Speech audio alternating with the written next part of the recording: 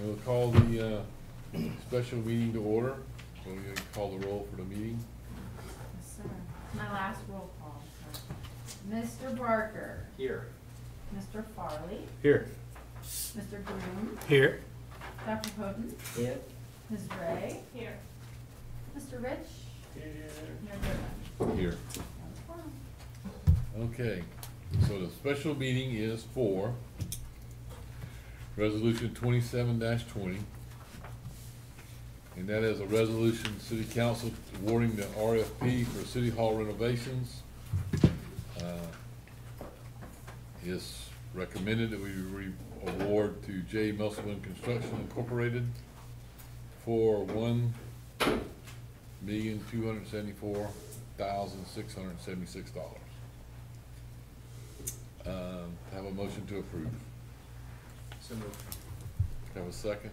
Second. Any questions, discussion? Mr. Farley, Yes. Mr. Groom, Yes. Dr. Houghton, Yes. Ms. Ray. Yes. Mr. Rich, Yes. Mr. Barker, Yes. and Mayor Goodwin. Yes. So have a motion to adjourn the special So meeting? moved. Second? Second. Done. That was probably the shortest meeting we've ever done. Ten oh two. Thanks, Um, Your input was invaluable. So now, um, the work session agenda starts. Call it, call it to order. The same folks are in attendance as last time. And who's up first?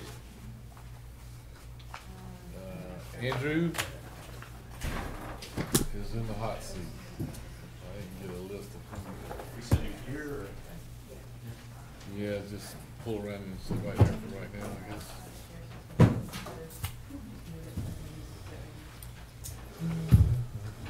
Ironically enough, no Clamp just called me.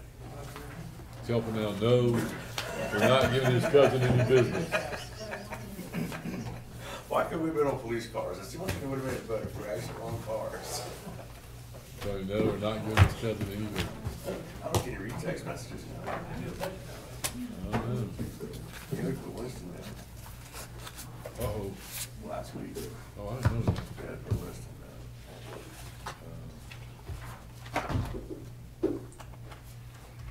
When was it last week, you know? It was like, oh, it was Tuesday, because you weren't with me. It was after this meeting, after Foxy, I read it, Dan came over to Father. Still public safety. Still.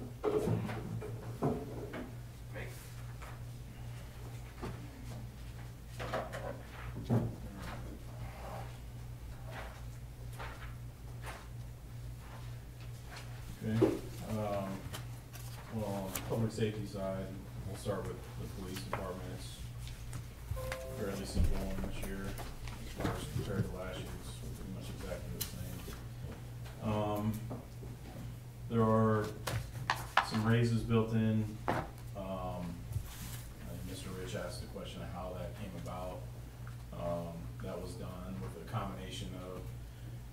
pay study, previous years' um, evaluations and a formula that uh, Mr. Pope and Ms. Wetmore came up with with the mayor. And those numbers were plugged in.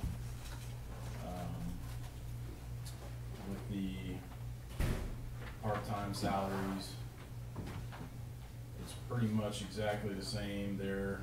Um, I will say that on the part-time salaries under beach and parking, there is um, a few names that are spot holders, so they're actually open.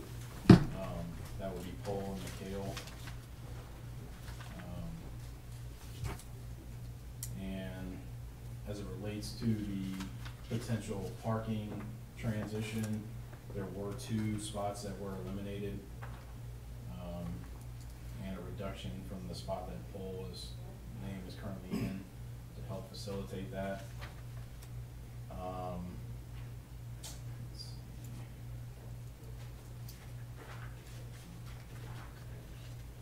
There was a slight bump up in overtime Hold on, hold on, one second, we're going line by line. Yeah. however you wanna Well, let's, let's, let's back up to that one. So you have Paul, who's a public safety officer listed under part-time beach and parking officers, drawing a salary out of that line item. What, I'm sorry, a reason? Yeah, so a couple years ago, we used to have LE threes and part-time officers under augmentation, um, because they augment staff, you know? Um, but when we separated out all the part-time salaries, I think that was last, was that last year, Lee? That we created the part-time salaries line, like we separated it out, probably, all right, whatever. One or two years ago, um, all those part-time salaries were removed from the augmentation line and put into that part-time salary line. Um, I'm not sure why it's specifically under beach and parking, um, but that's where it was in. Sorry, That doesn't wake you up before. sorry. Um, but there are some LE threes and some part-time police officers that are under that umbrella. Um, like I said, it used to be augmentation, Well, I mean, and the reason why I'm asking is last year there was one LE three ordinance officer under that line item. This year there's a public safety officer and two LE three ordinance officers.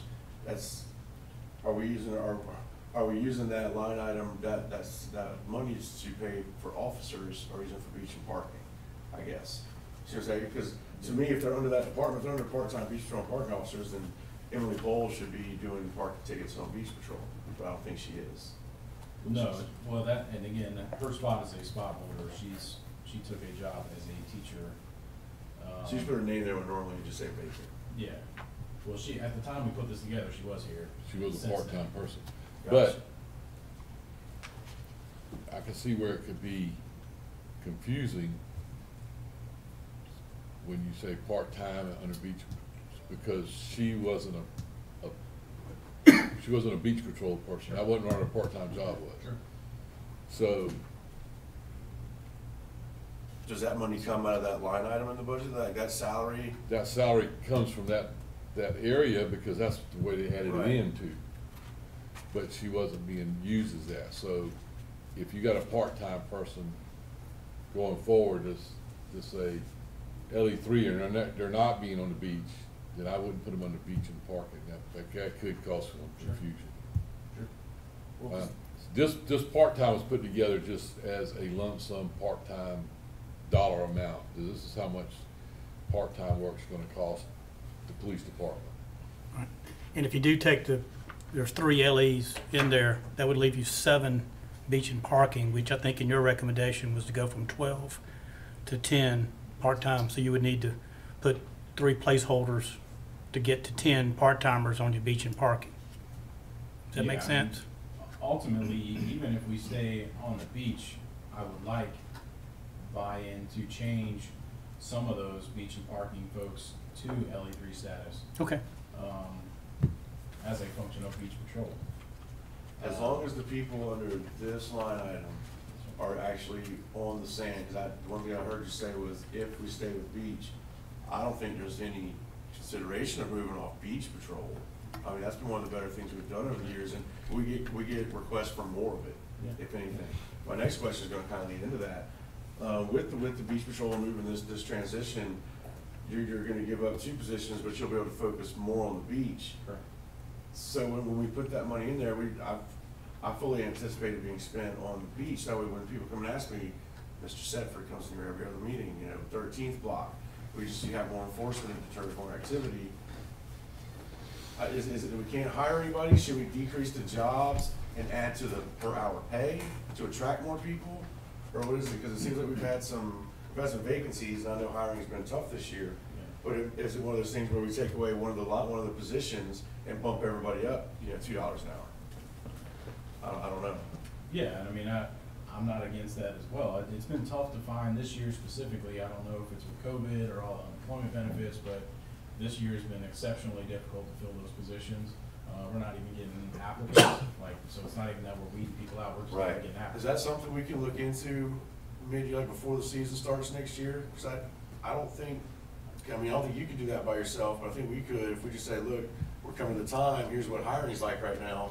Because I'd rather, instead of having three vacant positions, I'd rather have one vacant position and pay those more and have, you know, full roster that way. So I think the limiter on beach patrol is money, not really the positions. I wouldn't do away with positions, because I know there's some people that were on beach patrol that just didn't want to work more hours.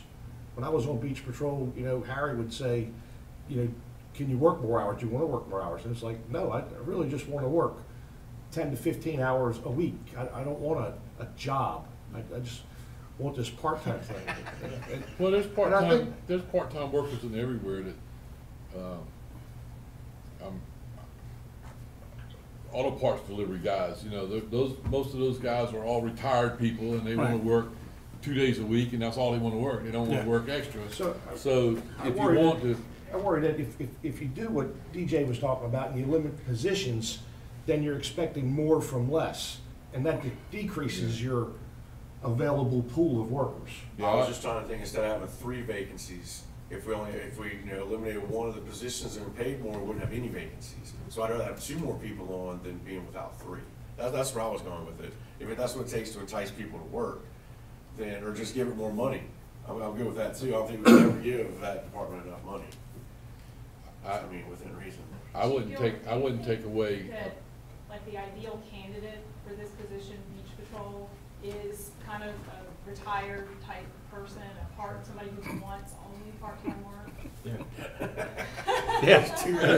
So I hear. it's not necessarily money driven, is it, as in, just give me the ten or fifteen hours a week. Right, but it's You know, I just sometimes, Something to feel, yeah. to do, to contribute to my community. well, but if I got, if I get paid nine dollars to be in the sun for fifteen hours, or I can get paid ten dollars to drive around an air-conditioned truck, I'm not gonna be out there.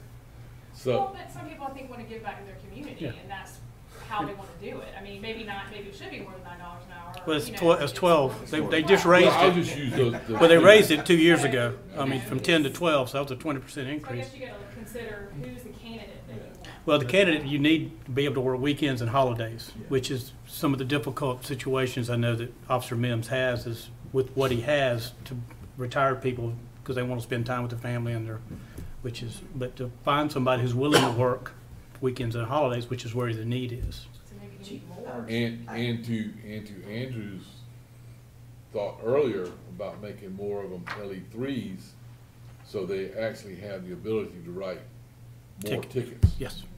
While I'm- So what they, they don't have to wait and call somebody else to show up to write a ticket. Right. Andrew, when you reflect on the profile of the applicant, is it local? Is it a Folly Beach person? Usually Folly or James Island, I would say ninety percent. Um, but like I mentioned earlier, we're not even getting those applicants, we're not even getting the applicants if somebody wants ten hours. Mhm, We're not that's- getting any applicants. Right, so, Um, so, just whatever we can do, you Mhm. know, and I, with, obviously there's, within their searches, we gotta, there's no way to entice, or, you know, the way to Mhm. entice the people to come out here to wanna do that job and spend that time in the sun, and and once you do that, are they retained? Is the retention good? it's fairly good on Beach and Park. Unless they get elected. So to get elected to council. Okay. I mean, the ones that we've lost here recently have either been elected or, uh, for medical Mhm. issues. Um, So, so you would like more potentially recruitment, because once you get them, you can retain them. Yeah, most of the time. So I- I then- think for, for beach and parking specifically, a lot of times it's word of mouth. Um, I agree. You know, it's just like. I was gonna ask that too, where are you broadcasting the job openings, or do we have to, do we have to do somewhere legally, or can you reach We do. outside the box? We do. Um, TAC puts them on the websites. I believe she does, um, and Spencer might be able to touch on this some more. I know they do the city website. I know they do some local advertisement, maybe Indeed. Um, stuff like that, some TAC usually handles. I'll find out. So we, we've been going through the same thing, you have to rotate it around. So- In- Indeed worked last time, then before it was Facebook or Craigslist or something. But the fewer people you have, the more the expectation is that they're gonna have, they're gonna have to work a certain amount of hours. Mm-hmm. And the more people you have, the less expectation. So if you have more people, and you say, look, all we want you to do is one day a week. Right. I think there'd be a lot more people that would step Right. up and say, "I- I'd love a job, I'd do it Yeah. once a week. But when I talk to Officer Mims, he's like, well, I've only got ten spots, so I need everybody to be working two or three days a week, and people go, uh, But you would run into the same funding wise because you'd have twelve people or ten people to choose from versus six. I would- and they would work the same hours. long as it stays within, I mean, as The long money. as it stays within budget, Yeah, right? right. Yeah, I which don't- is, I don't think there's doable. Fifteen lines down here, to be honest with you, I mean, it's, you know. That's my point. Yeah. Yeah. If you had twenty people he could choose from, as long as you stay in the money, I don't care if you have twenty in your cadre of workers or forty, but just don't go over, you know, eighty-six, four sixty-seven or seventy-nine, seven oh three. And is there, is there a requirement that we pay these people? Are there not perhaps some people that truly want to volunteer their, their time? You can't, We get- you have to pay them something. You do? That, is that a requirement? Yeah, state law. Yeah, you, just, just, well, but just to schedule people, It's an, it's you know, hard. Yeah. It's spaghetti. Well, and you, and you schedule somebody that's just volunteering, it's like, oh, well, I don't feel like doing it today, so I'm not going. Yeah. You know, so that's kind of the. Typically, that's like treated like augmenting. I just think, yeah, if you had recruitment and just really, Mhm. just get the word out early to get people to, to register. I wish we could do little chain gangs and put the community service people on the beach, you know, y'all go pick up trash. Hey, I tried to, I got some community service coming up, I told, You do? I told, um, Andrew put them in pink jumpsuits and put them out there on the beach, I was a dummy, picking up trash. Why can't we do that Why anymore? can't we? Everybody's watched a fire truck in their day, come on. So for the bottom line, do you have enough funds to be able to, what we just Yeah. discussed, and you can manage that, or? Yeah, that's, that, the, the money is typically not the issue. We have not overspent that account in a number of years. Okay, I think it's just an authorized strength, and I don't know if that's something that falls with- under the mayor's purview or what, but But while we're, but while we're on the money situation there, if you add more LE threes, would that, say you got two more LE threes, would that, what would that do to your money? no, that. that- Or if you had three LE threes working, Yeah, I mean, right now, the LE one, that one that was an LE one with Paul spot, that's at a higher rate, As budgeted as a higher rate. Uh, one LE three, Mr. Abaza is also at a higher rate. And the open LE three spot there that I have a placeholder in is also budgeted at a higher rate. um, To compensate for that. What, what are they, what's the, I know we've talked about this before, what's the procedure for get, becoming an LE three? It's a two-week course at the academy. Okay. And anybody can do it, like if you, you I mean, not anybody, but, you know, if you say, yeah, I'll be a par- a parking, you know, patrol, and then they realize they could do LE three, they could easily do the two week. anybody who's authorized, right? So, you know, you can't have domestic violence, um, convictions, you can't, there's certain disqualifiers, like you have to be authorized by the Background state, things, you have right. past background requirements, but Mhm. other than that, no, there's no Okay. specific restriction.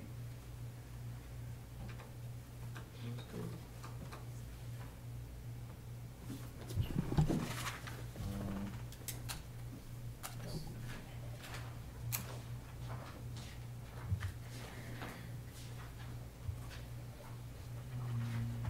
There's, what's the next one up, certification bonuses, which is the next. Um, Did you specifically address overtime? Yeah, I did. Um, we it up just a little bit, um, just about five thousand.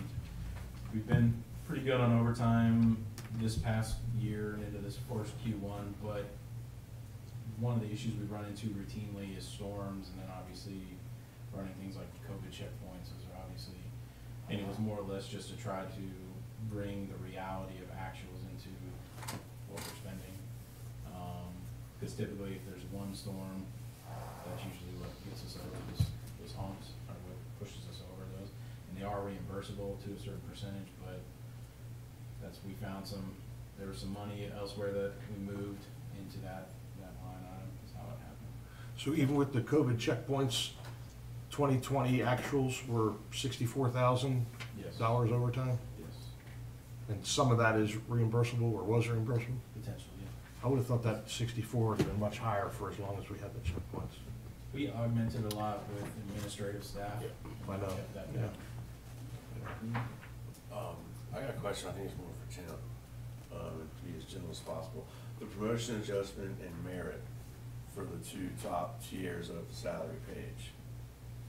They said, you, so you were involved in that, was that a, was that a combination of something that was in the compensation study, or was that something separate out? That, to me, it just seems like a lot that wasn't, for the, not for the promotion adjustment, for the merit, it could have been maybe some other guys, you know, were shaken down, or was that part of the other mix That's all part of their evaluation. with the compensation study? Or just Yeah, general? but, you you know, our guys was underneath the compensation study. Well, that's what I'm wondering, in you said general. some people you mixed Way, up both way, ways. way down, yeah. Okay.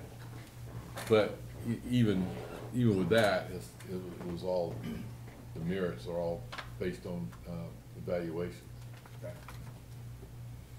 To remain on the overtime topic, so the column um, on this second page of the section, overtime hours, is is that, is that a placeholder for budget purposes that you try to manage to, not to exceed? These are not actual. That's correct, on the personnel sheet, yes, sir. So somebody might be a two, somebody might be a one, that, that's just. What does that mean, Like, you know, one officer, just because of how the schedule, when overtime availabilities come up, might have more than one fifty, but then another person, because they're typically the shift that's working, might only have hundred. Okay. So like, those aren't, it's not specifically that each individual person's allocated hundred and fifty hours, it's Right. more or less just a. And it's truly deployed as needed. It's not, it's not a way to um, enhance recruitment or retention, is to pay overtime. We don't have rotating overtime like that. It's literally if, you know, someone calls out sick and we need coverage, or we're instituting a checkpoint, we need coverage, or a storm happens and it moves to twenty-four hour operations. It's not, we don't have any, uh, like festivals as an example, It's probably the closest thing we have to schedule overtime, um, just because they're known in advance and you're gonna have overtime, but we don't, we do not schedule overtime like that. Okay.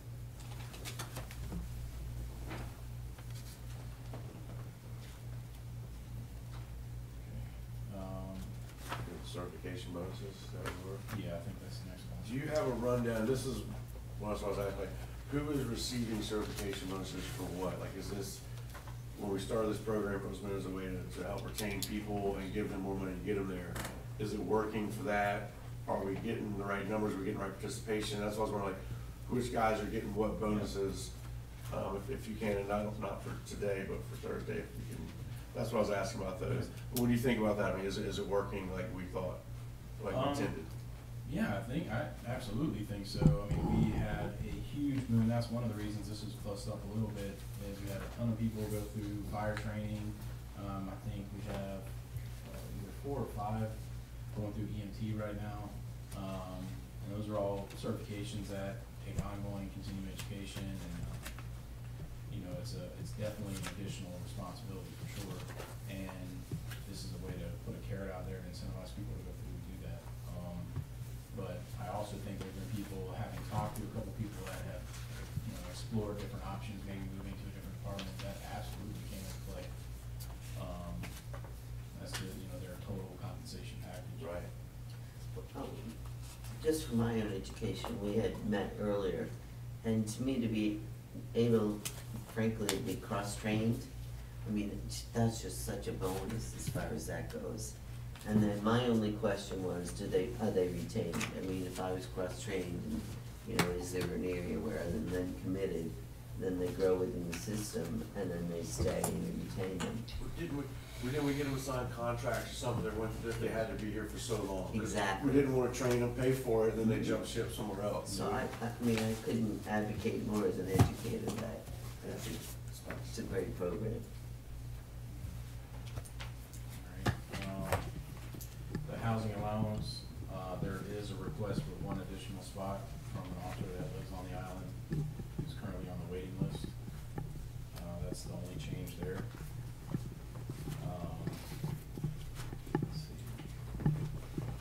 Operations was reduced, um, mainly from the, where we buy the in-car video cameras. As you all probably know, we got a pretty substantial grant, uh, to replace our body cameras and our in-car cameras.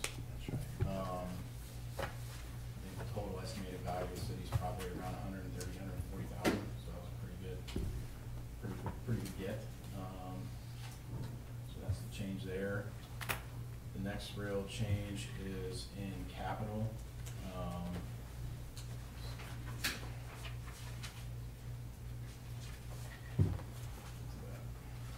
I just had a quick question on the, um, vehicle repairs. That's just renew, that's not even replacement, that's just renewing. Yeah, It's that's- ma- Maintenance. It's anything like, uh, what we typically end up doing, especially vehicles towards the end of their lifespan, we replace a lot of front ends, uh, Okay. top ends and motors. Um, that's typical repair. Um, a lot of battery replacements, obviously, brakes, Mhm. tires, um, alternators, things like that. That's where that comes out. Um, in the capital section, there was a jump in the cost for the vehicles and upfitting. This isn't anything other than the state contract significantly increased. Um, the type of police cars, um, that is even available is being reduced quite a bit. Um, Ford, as an example, is now only offering the, the SUV. Um, Dodge Charger is the only remaining police car, car, and we've had nothing but problems with all the ones we bought. So I kinda wanted to move on from that. We've had pretty good luck with all the Fords we've bought. Chevrolet, the only thing they offer now is the Tahoe. Um, So the large chunk of that is specifically the fact that the base price has been raised. Are, are any of those vehicles hybrid vehicles? No, not currently. So in this request is to purchase the hybrid version of the SUVs. Um, and the reason for that, it's a relatively small investment on the front end. Um, it's three thousand dollar option on the vehicles. Um, but looking at actuals, um, from speaking to departments that do use them as well as Ford, is they're saving an average of three thousand dollars a year on fuel. And we keep our vehicles around six years. So to me, it's a That's a copy of relatively that. easy, easy return on investment.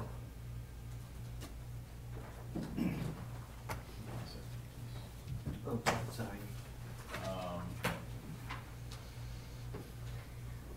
So over the lifespan. Aaron, why don't you just take that and make a copy for everybody? Over the lifespan of these vehicles, you should be saving in fuel around eighteen thousand dollars, um, you know, per vehicle. So to me, that seemed like a relatively Yeah. Not to mention the environmental impacts as well. environmental impacts. Until you have Um, to deal with the battery. I, so I talked more about that specifically with the batteries, I was worried about the battery life, they offer a ten-year Yeah. warranty on the batteries. Um, cause that was a big concern, like, you know, how, how expensive is it to replace them, da, da, da, da, there's a ten-year warranty on those batteries. What's the warranty cost? No, it, that's, that's. It's, part of it's it. included, that's fabulous. Yeah, it's good. Yeah, so I thought that was, that kind of answered those questions. Right. And they would cut that on noise as well, and low speeds. Yeah. Um, that was the request there. Um, the car itself, so basically, if you wanted to delve into that hybrid, that's, that's a, a nine thousand dollar upfront cost. Um, Is but- it the Ford SUV that would be The the Ford hybrid? SUV. And that's included in the budget, or is that? Yes, that's Okay, included. cool. Um, but if you don't wanna do that route, obviously there, that's nine thousand cost. Um, the rest of it is just, they went from around twenty-six on state contract, twenty-six thousand apiece to currently about thirty-two, uh, six oh three is the current state contract price, which is a significant increase. That's what everybody buys their cars off of, I don't know why. I think it's simply, simply because South Carolina is a very small market, so they don't, you know, So the nine thousand is nine thousand total, not nine thousand No, per car? Total, that's total. Um, I just wanna make that clear. Yes. Hybrid. Yeah, Yeah, three, three per car. yeah. Thank you. I just wanted to say that. Thank Thanks.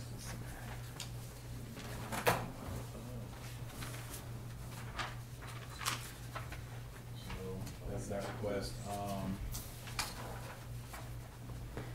in addition to that, there is a beach patrol vehicle that is budgeted for in that capital budget. And the other change is asking for eighty thousand dollars to install a storage and rescue site for a marine unit at the boat landing. Um, I have a layout, if anybody wants to see it. Um, we've been working with the county park system, order to utilize part of the boat ramp, corner of the boat ramp. Um, Picture kind of a, where it would be, we're averaging right around fifty, sometimes up to sixty water rescues a year, something that's, um, we've seen a lot, a big increase in, and it's been really successful. Um, I know a lot of you guys are boaters, and during the summertime, the lane can be pretty hairy. Um, this is a way to be more efficient in our response. Um, Does, does that include the gates and the lift and maintenance, overtime, insurance? Uh, Or- it's everything except for ongoing, like, you know, if you were, now the, there are lifts included in that. Right. So the boats would be out of the water. Correct, So yes. You're not gonna have, you know, the maintenance as far as scraping the boats. Okay. And let's say you do, there's three options as far as those lifts, and let's say you do dock blocks, dock blocks you don't need to scrape, so there wouldn't really be. Yeah, other than uh, Potentially if there's a storm or something, you would Right. have to replace some blocks if they left, but, um, Turn of the River uses dock blocks, and they've not lost any in any recent storms, so we seem to Yep. hold up pretty well. Um, and there would be a gate, so it wouldn't be like anybody can just walk out. Right. obviously. Um, I mean, I, I love the idea of, of this. I do have somewhat significant reservations, um, about the amount, um, the fact, you know, how we looked at Sunset Cay and other areas just to, during at least peak, um, to rent spaces. Um, I have a gut reaction when we build something on someone else's, you know, property, so to speak. So, you know, I, I really am on the fence, I have to say about this, honestly. Um, How long have we had the water resources now? Uh, three years? Is there a report by year, um, for water response, ways in which we've utilized those? Yep. Would that be helpful to see? Um, Everybody done? I got a couple if I can. I'll go ahead and say that just from looking at the police reports every day for the past however many years, there are a lot more marine rescues and times they launch and deploy now. Um, and it's just growing with the popularity of Charleston, the waterways are selling more boats than ever all around town, this just adds to it. Nobody else can get there as fast as us, so we, we need to have a, a life-saving deal, it's, it's been wonderful. And I, I do like the idea, will this come back later as, as, I mean, I guess a bid procedure will accept bids on that? I'm assuming that's how it's gonna come. So how comfortable do you feel with eighty thousand? I know it's, you, you kinda got a scientific guess there, but where, where do you, are you, are you, you're definitely being safe, are you under, with everything, like the gate, the protection? You know, the one thing that I tend to worry about is, is vandalism from the water side. Sure. So this is another, this is another camera that we need to put up if we do this. Mr. Stransky in here? No, if I got one in his office. Right. Uh, but, but definitely, I mean, it's an investment we need to make, but you're talking about saving, you know, eight, nine minutes each trip, that's, that's pretty significant when you're getting out there. Um, So, with that being, as long as it's coming back as a bid later, I mean, I'm, I'm fine leaving it in there, because I, I do believe in it. But if, if there's any reservations from other members, I, I mean, you could, then, put it in reserve at least, a reserve account, and they can come back with it, but don't, let's not take it out. Um, I, I do believe that is where we're, we're moving towards. That's gonna be looking five, ten years down, down the road. Well, let's keep one thing in mind about water rescues too. If small craft warnings are up, our boat don't move. And that's straight from me, just protecting our people because somebody else was being not really smart. So, you know, if it's, a- you know, it's just like surfers in a storm. If it's a storm coming and you're gonna go surfing, you're out there, you're on your own, you know? So, I don't wanna give the public a false sense that, oh yeah, we're gonna start doing water rescues no matter when, so, you know, just be, be aware, if it's a storm or small craft warnings, Should definitely be a sign on, on the we ain't going. I, I would, I mean, I would also, when you look at the data, I'd like to see Thank you, Aaron. as comparison, you know, peak, mid-peak, off-season, you know, those sorts of things as far as usage.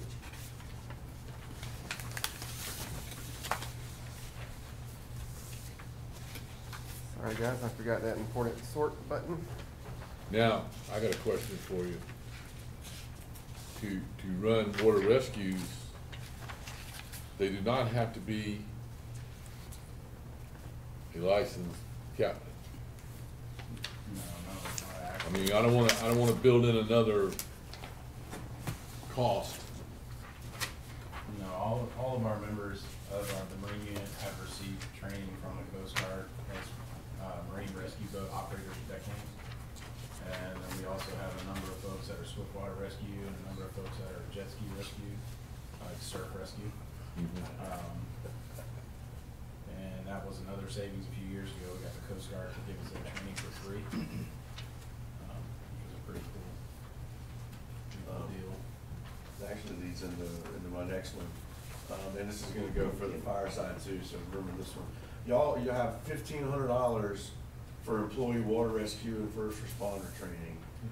I remember we wanted to move our fire guys and try and get them more EMT, I think there's different levels, I cannot remember what they are, but different levels of, of first responder certifications, so they can start hospital procedures before the ambulance gets there, because we know the ambulance takes a while, things of that sort. And we're doing a lot more water rescues, we're gonna build, you know, this, or we wanna build this, this launch site and all that. Why only fifteen hundred dollars for those two trainings? Like, in my mind, that's just, that's not enough. In my mind, we should, that's what, because I know that's what we wanted to strive for. Have we, have we done that? Yes. Is, is everybody trained in it enough as far as we can go, or, or I'm just, I'm, I just wanna make sure that we're giving as much training in those two areas as we can. Yeah, um, well, like I mentioned, we've built a pretty good relationship with the local Coast Guard. Um, and like last time, it was about a thirty thousand dollar total cost training, um, that they gave to us for free.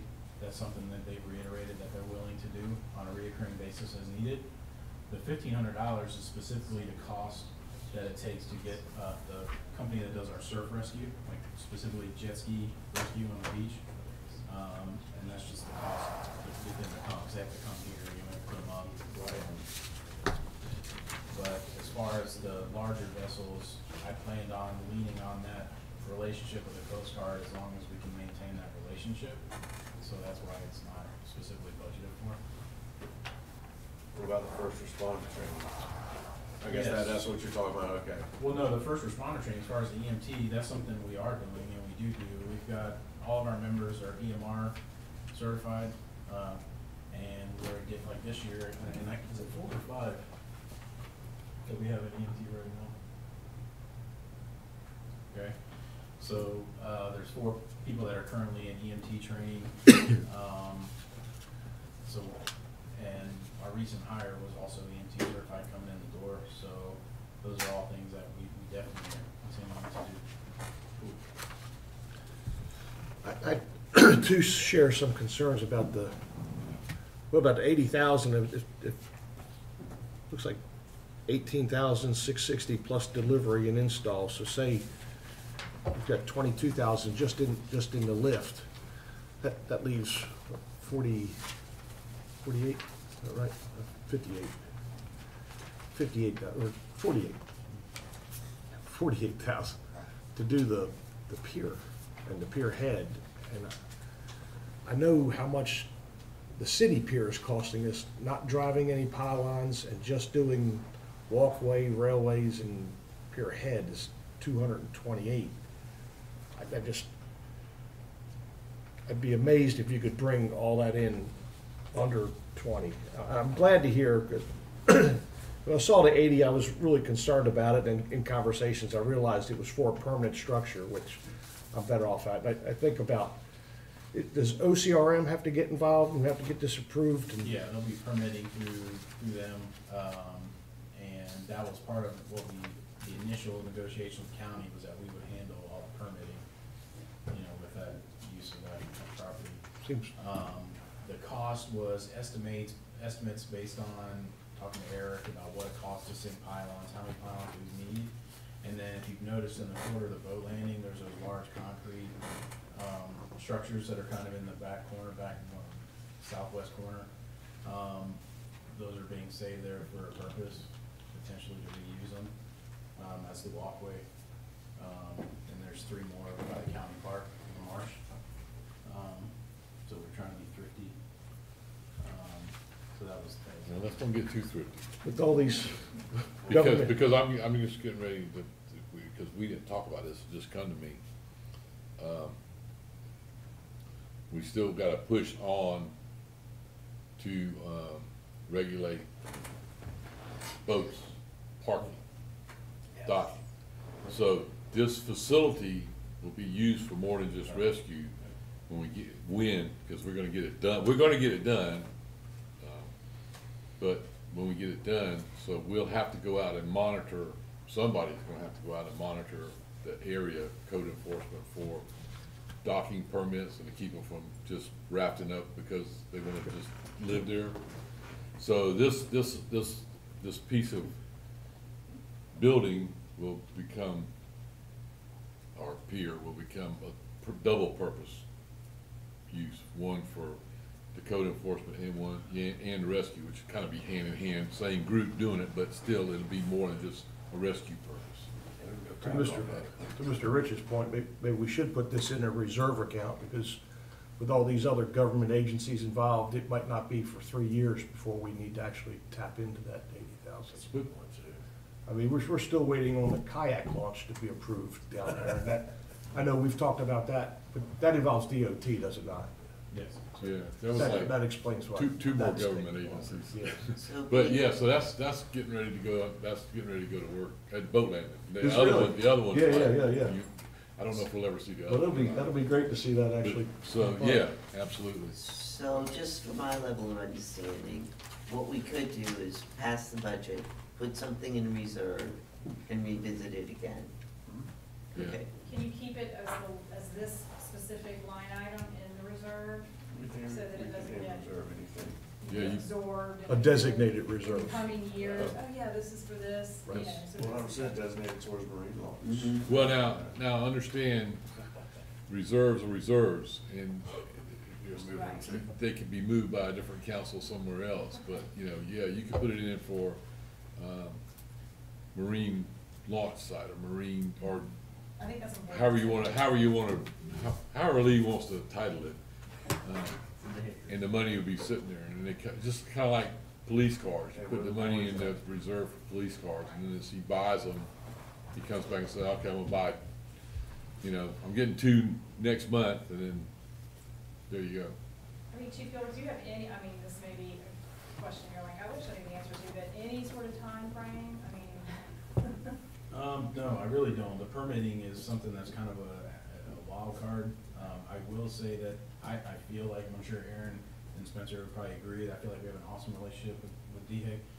Um, and honestly, we're working with them right now on another grant to help kind of corral some of the remaining vessels and, and we do have a really good working relationship. Um, but to say that it's, I have no. by next summer is Yeah. very hopeful. So, so to ease, one point that was brought up that I haven't thought about before about, you know, we, we work so much with the county, it's like, I don't think about building it on somebody else's property. Have you looked into just putting a pier head off of our dock that we're rebuilding now? I would love that, I would love to do that, and we did look into it with the, uh, when we got that grant, right?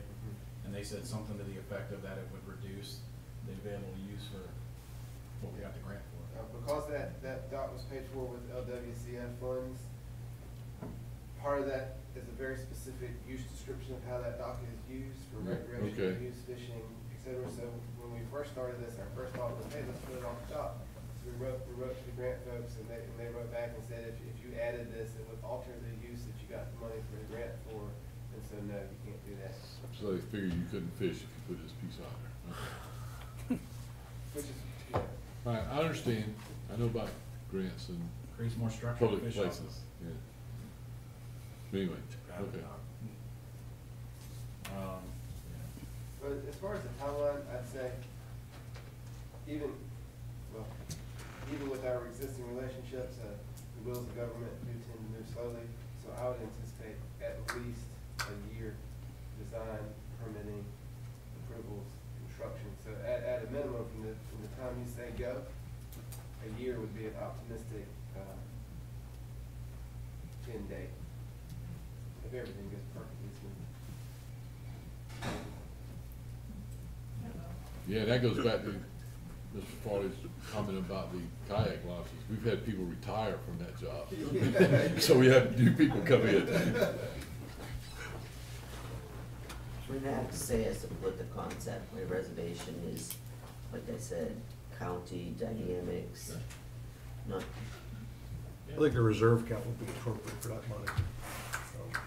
I had thought, originally I thought the better expense would be to buy a truck and just to go down and stage the boat there. But um, I think at this cost, this probably is a, a, a long-run solution because while you can stage out there for water rescues on weekends and whatnot, if, if we ever do get the authority to police out there by the bridge and boats that are moored, uh, we probably do need where one person can go down there and, launch a tool around or two people without having to. This is, this is probably the better solution for the long term. And, and just so y'all know, aside from the mooring, which is a slightly different aspect, once we completed the training with the Coast Guard, uh, DNR did give us law enforcement, law enforcement authorization for all the waters surrounding our jurisdiction. So we do have law enforcement jurisdiction on the water as DNR. That's basically a, a step in for DNR, Does that that include beachfront as well? except for the mooring. Uh, Beachfront as well, yes, for fishing? yes. Okay. What, um, how, I know we just talked about this about a month ago, was there any, any movement on that from the other levels about the mooring? Yeah, that's what we, I said, we're gonna get it done. We- Oh, I know, but we, Now we get, now we just have to, uh, get an ordinance written and passed, and we, we gotta, we gotta sit down and figure out, you know, exactly what it's gonna take to, to, to enforce our ordinance, and where we go from there. And if we do put it in reserve, but you still need to function, I still worry about, you know, response time, you know, all those things that we would benefit.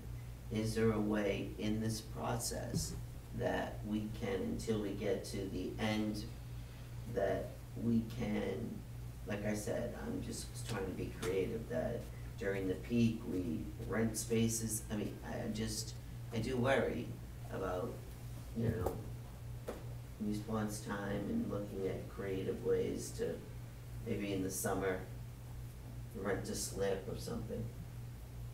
Is that still doable in the budget? slip. Yeah, I mean, if, if there are other ways, such as there are other marinas, there are other things to look at, so that there it is, let's say if it's in the summer, it's sitting there, bing, bang, boom, get on it. During this time when, you know, we're trying to get to a permanent solution, that's, that's what I'm thinking. I think you run into problems, say Sunset Cay with other people being on the docks, if all of a sudden we come through like gangbusters running down there. Uh, I can see that might be an issue, because there's so many private docks, having an emergency boat might be an issue. Do you, do you, s- I mean, again, I wanna give you as many options. One of the things we've done on a, on a short-term temporary thing is Mhm. like, uh, Fourth of July week, like, weekends like that. Right. We have either borrowed or, or, you know, slips from folks around town or whatever. Mhm. Um, typically it's been at Mariners Cay, um, So, yeah, I'm familiar with that. um, So for that, For that purpose. So, so if, if, if you think about that, and you think about long-term boat sitting at somebody's place, then you need to go back and buy that lift to get it out of the water, because no matter whose dock is sitting at, you still have the same problem. Mhm. And it's a terrible problem in the Folly River, because the water runs so much that, you know, after three days, barnacles will build up on the bottom of it, and it, it is, it's And- tough. And to Mr. Rich's point, there, there is some concern for like more long-term storage over security Mhm. at a, at more, at a more like public, but a public marina where there's people, there is some concern there for security, but yeah, when it's like a two, three-day weekend, that's typically what we do. No, I, yeah, no, I, I just see, and I just feel like if it's gonna take some time and we could win and get something, you know, save more lives if you needed that access, um, I'd be definitely supportive of Um, the interim. Speaking of reserves, I, I just kinda noticed, there's a fifteen thousand dollar reserve placed in there for police vehicles and equipment. I actually think that was meant for fire. Um, So, anyway, and there's another reserve in here for, um, National Night Out for four thousand. Um, I, I don't think that's happening this year, just based on the COVID. um, and, uh, Are there other, though, I mean, because that was a great community social service, are there other ways that you'd rather reallocate that? Um, I mean, can you look at, Yeah, let me think, let me think. I mean, I know it's a reserve, so it doesn't I have to be wouldn't, used this year. I wouldn't take it out completely because, you know, uh, like, we're not having a Halloween carnival, as people know, Halloween carnivals.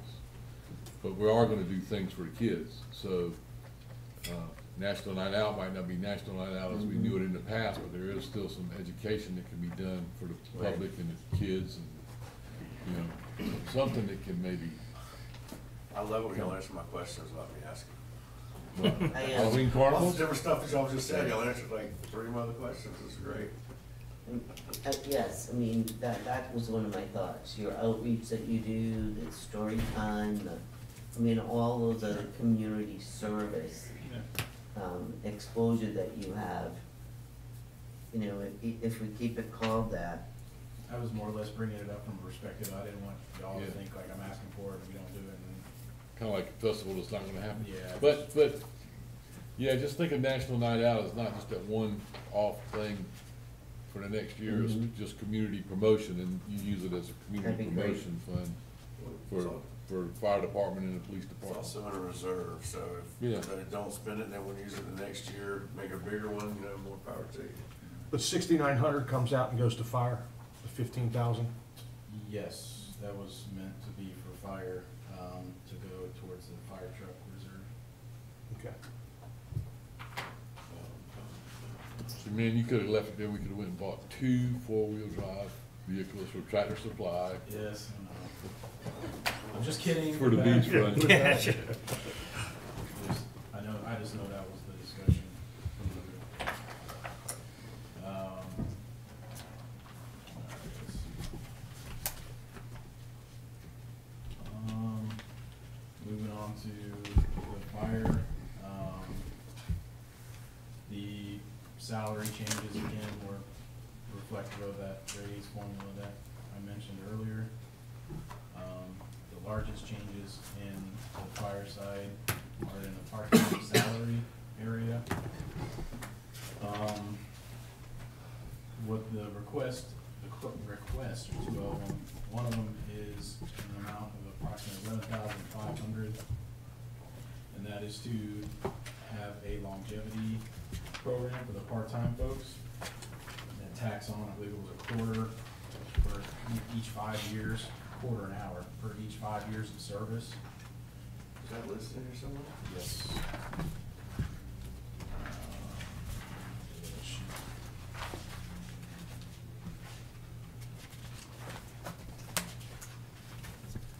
The third page of the fire section of the sales. Oh, that's all that meant. Yeah, it's at the bottom of part-time. So basically, for every five years of service that a part-time employee on the fire department spends at the city of Folly Beach, we tack on twenty-five cents per hour. And based on our current service time, that's the, the estimated cost. Um, the second ask is to remain competitive with other local agencies that also hire part-time folks, and that is to change the part-time firefighter. Uh, they're a driver, their hourly rate is 14 an hour, and if they are a firefighter EMT, to $15 per hour. Um, the total estimated cost based on hours worked would be 31000 with us becoming a BLS agency, it's imperative that we have at least one EMT available on every single shift, twenty-four seven. Um, and this is a way to help recruit and retain those folks that are, do have those additional certifications. Um, uh, in our part-time ranks, because as you know, our, our fire department is staffed as a mix between full and part-time folks. What happened to us trying to get more full-time firefighters? A couple years ago, we said we wanted, we wanted to get away from part-time as much as we can get from full-time, so we they can come here for storms and things of that sort. But we're trending in the wrong direction. We're, we're going up a lot in part-time salaries, but full-time's not. What, what's, what's the, what's the holdup? What do you, what's, what's happening? Um, I still think that's a smart direction to go. Um, long-term. I think one of the biggest concerns is just the cost of the retirement and healthcare that becomes the, the, the trade-off isn't as equitable, you know, like historically, you could get to a point where it was a relatively easy wash, and I think with the rising cost of healthcare, uh, and retirement specifically, it's getting to be uh, not such an easy wash. Um, now, granted, I also agree that, you know, the issue is still the issue, is which, when we have major storms and things like that, those people are going back to their other agencies. Um, but the flip side of that is, we're getting a lot more of our police officers firefighter trained, and a lot more of our staff in general, medical and, um, you know, I hear you, and that's awesome, but previous council said a couple of years ago, if I remember right, that we wanted to move towards more full-time to have them to come back. So we're going with what y'all project. So is, is it we can't find people to fill these jobs, we don't have, any open slots? I mean, I see two of them right now. We, uh, well, when this was created, that, it says fire PSO, the top of the bottom of full-time, says TBD, uh, that, that spot was filled. Um, Firefighter Irwin, what's his name, firefighter E EMT. I guess, are we, are we happy with the full-time that we're at, or should we try and increase more? Because the main priority before was for storms and emergencies, we always got the short end of the stick, because these guys went back to their home base and not here. So we always had to supplement with other, other officers or, or things of that sort. Are we happy with the amount of full-time guys that come here for something like that, or do we still need to keep going for more? Because if we need to keep going for more, we're not going in the right direction, I guess, this is what I'm getting at. I mean, I, I understand that argument. The, the flip side of that is, is we're not adding additional part-time staff, we're just remaining competitive with the staff that we currently have. You know, so, I mean, Yeah. you wanna, you wanna weigh in? Well, I would, and I would say, from where we were, from those discussions with full-time people to where we are today, we've made strides to have more full-time people. So if we have a storm, we have more people here than we had in past years, because where we only had one person full-time per shift, now you got three people full-time per shift, kind of thing. Excuse me, two people full-time per shift. Hold up now. So, so we doubled that number, but, you know, to get everybody full-time was, hey, I love it, just stick the money in there and we'll go hire some people. I think the discussion revolved around the cost of doing that. Going to full-time. No, I'm pretty sure that we were on board with going full-time and bringing back for emergencies. Fire's something that I don't think, you know, I've never been a part of a council that wants to cut fire. Well, Kinda need it. it's just, we just need to put more money in there I mean, to, the to pay them, projection that's was all. bringing three more full-time people, one per shift, Yeah, a year or so ago. The projection was two hundred and seventy thousand dollars. I hear To you. bring on three full-time more people, two hundred and seventy thousand dollars. And now, we're going to BLS. Um, you, I'm sorry, when you say that, that's salary, that's benefits, that's recruiting, I mean, that's, you know, recruiting them in, that's the old, I understand. That's just to bring one more full-time person per shift. So three of them for three shifts. It's two hundred and seventy thousand dollars. Why do you have to do it three at a time? Sir, Why do you have to do it three at a time? Why can't you bring in one more full-time fire person? See what I'm saying? What do you have to shifts are it they gonna a work, or what hours they gonna work? I I mean, don't know, man, that's your department. the, the twenty-four forty-eight. Twenty-four forty-eight. So what you're saying is it has to be three full-time firefighters or Right. zero? To increase the three Well- full-time firefighters per shift. I think, no, but I think what, That's not what I'm saying. I think what, hang on, I think what Mr. Rich is saying is, okay, you got A, B, C shift, talking about three people. So if you bring one more on this year for A shift, you still have two part-time people for B and C shifts. Uh, That's what he's thinking. So like a long range, But then that's still one more person that we get to call back instead of going somewhere else. That, that's, that's the name of the game. So that would be two hundred seventy thousand dollars divided by three would be whatever it is per person. Nine. Yeah, Easy you calculator. you were waiting, got that one, didn't waiting, waiting. Uh, And, and if that is the long-range plan, you know, if ultimately you wanna get to the three, there's definitely ways to put it in a plan. And I, and I can't add three and three today for some reason. Two hundred and seventy thousand dollars divided by three is really easy. If you think about it, it's ninety thousand dollars. Three to twenty-seven is nine. Don't diminish my accomplishment. No, no, no, no. that- You know, Hey, and I just realized that with a calculator, you know, it's like bingo. the. And I was educated by Charleston County. It looks like if you use, if you use what our current, current person makes, all the way across to include maximum health benefits, which obviously would be reduced if they're single, it looks like seventy-three thousand per. Yeah, but you gotta figure family benefits. Well, that's with family. Yeah, that's, no, So it I'm, you, be I thought you less said single, if they were no. single. Seventy-three thousand with family. Oh, with family benefits, okay. And if they're single, it's half. Uh, So I got a question for you. If, if we hired, if we went, if we found another EMT that was crazy enough to wanna be a firefighter, uh, like our old buddy Holberg, if, if, if we hired that guy today, how much would he make per hour because he is an EMT qualified? How much is, um, Irwin? Fourteen forty-three. Fourteen forty-three?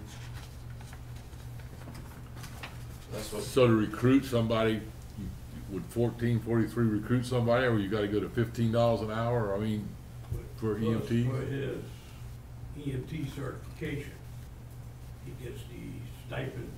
Well, that's, that's what I meant, with, Yeah. he, he gets fourteen forty-three as a firefighter, plus whatever that, I gotta go back and look it up back here. Would make it much higher than the seventy-three that the 500, chief's I already think. talked about. No. Seventy-three plus two grand.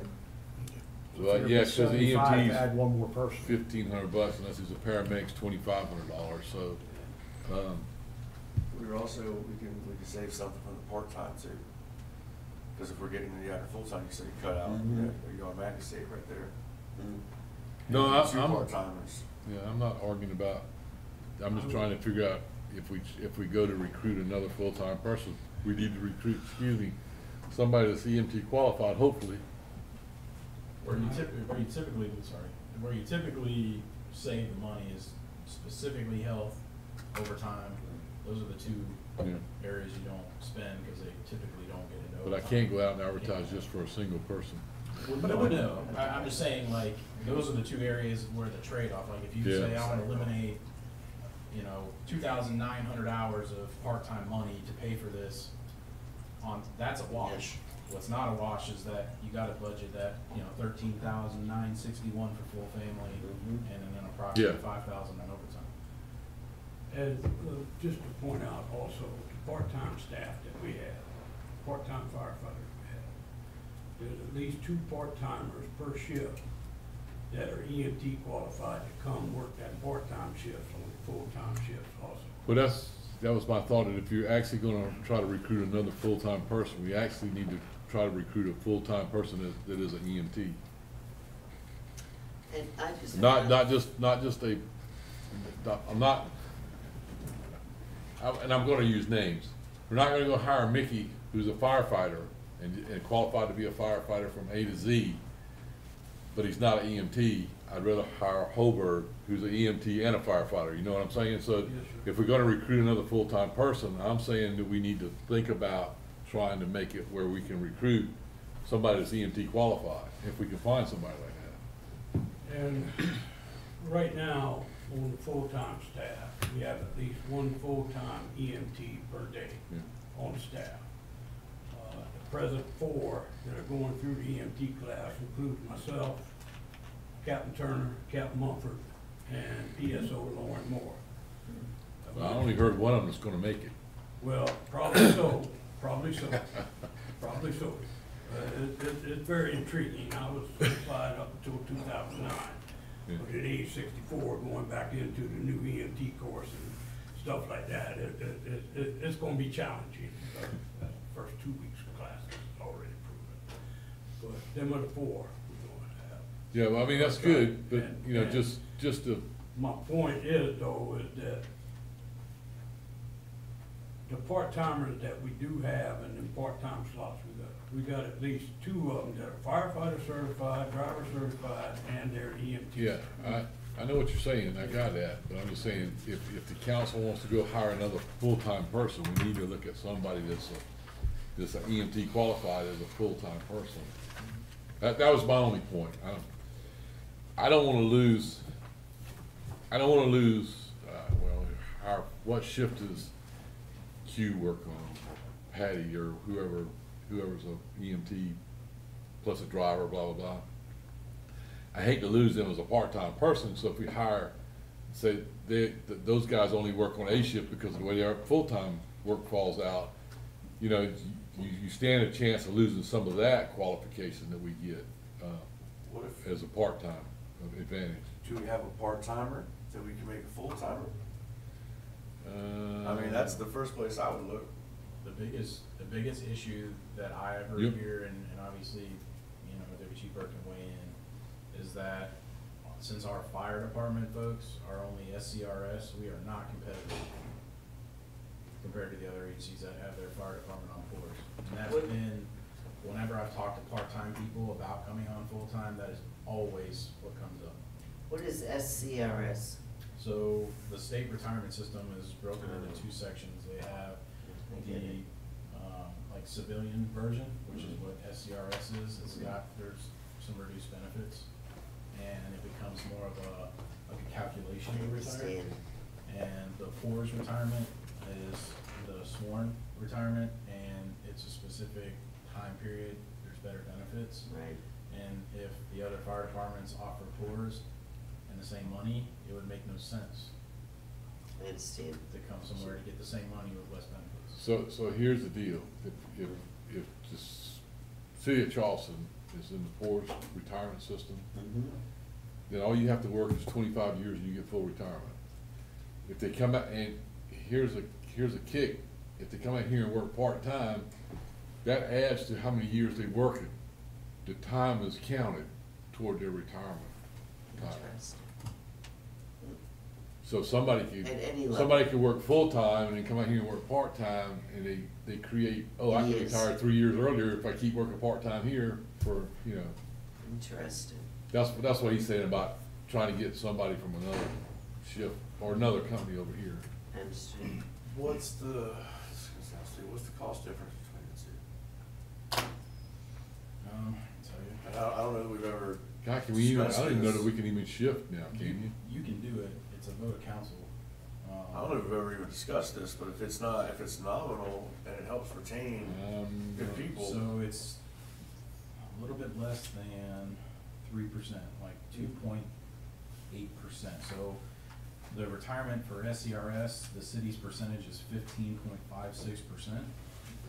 And for PORS, which is what we currently pay our police officers, it's eighteen point two four. Do you have to go back and pay arrears? Like if they've been five years in, you don't No. catch them up? You don't, and the reason why is because of what the mayor said, it's, but you'll get time, so like your SCRS time, Counts just as as a time for percentage service. counts.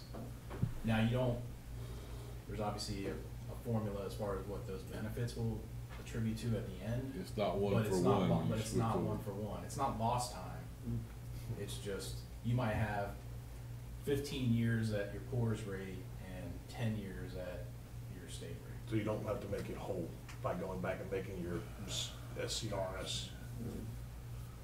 Not unless you wanna spend some more money as a council. Well, I remember, Yeah. I had looked at a job in South Carolina while I was captain, but to keep on track, I would have had to come up with eighty thousand dollars cash to put into Right. PORS And that's what I to did. stay on track.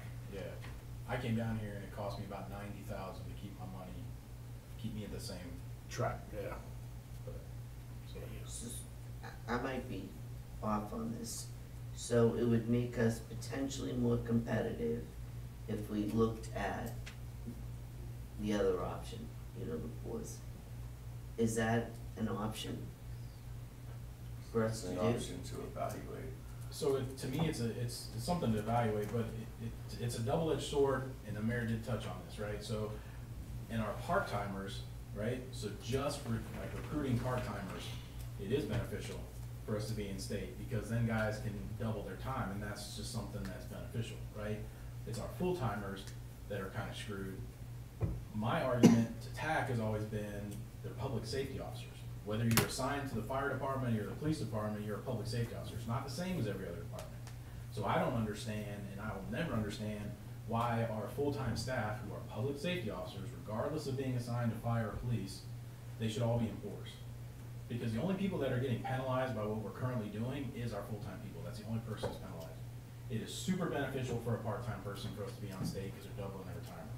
It's our full-time fire people. The full-time fire. Fire people. Fire, people, just the fire people, because the Yeah. police officers are already PORS. I mean, they have to be, but it's, it's just those full-time people, however many, whether it's five, six people, six people. It's those six people that are the ones that are, Huh? sorry, Rob, wait for you to finish, but it may be a state rule, the employees have some say in it. And so I think in the past, our firefighters have voted, because the part-timers get the same vote as the full-time. In the past, they voted to stay on SCRS, but so tax researching right now, whether it has to be the employees' vote, So, or we could. the police officers are in PORS, yes, but the full, so we're in different, we're in different ones now. yes.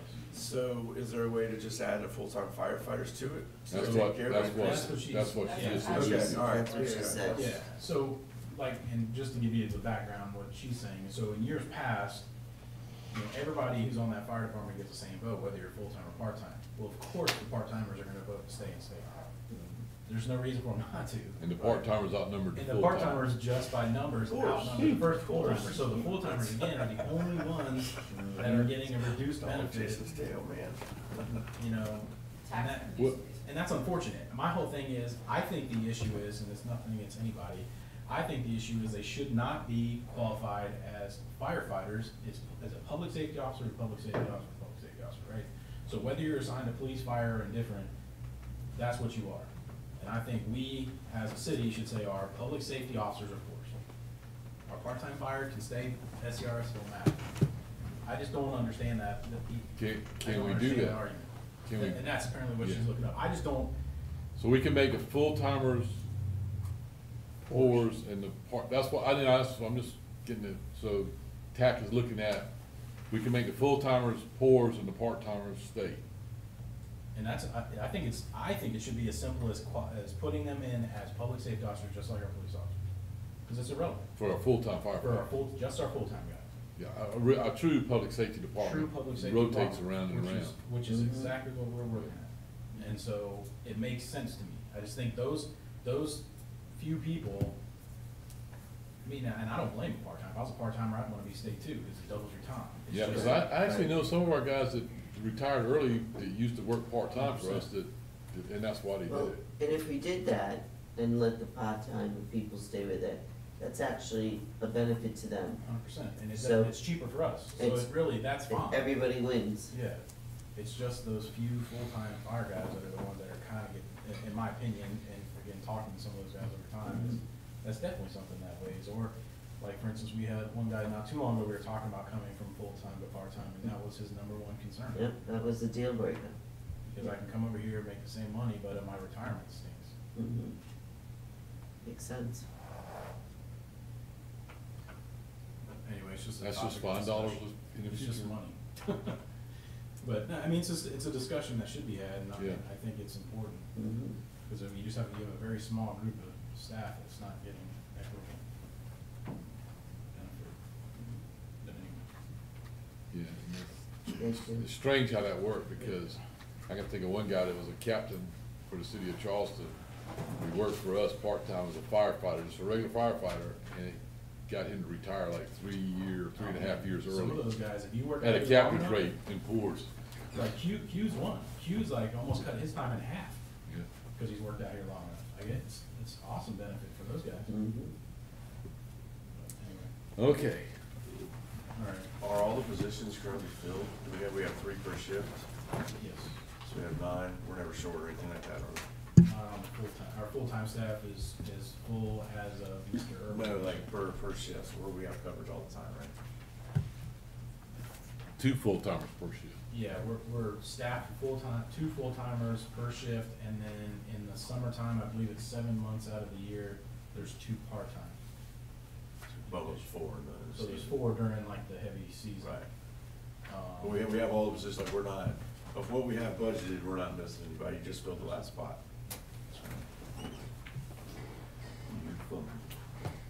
Now tell me where we are, I've been looking, All right, we're on fire ops, operating supplies.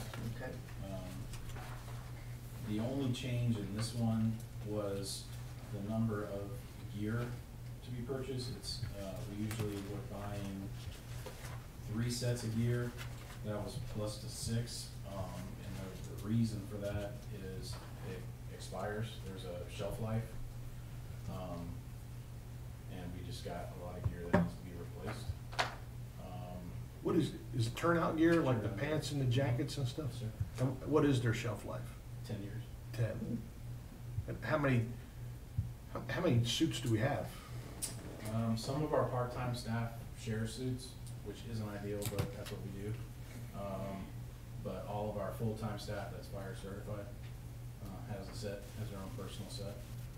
Um, there's a lot of reasons for that, but, um, I don't know the total number, we might, we have it obviously, but I don't have it with me. Do you know off the top of your head, sir? I can get that for you.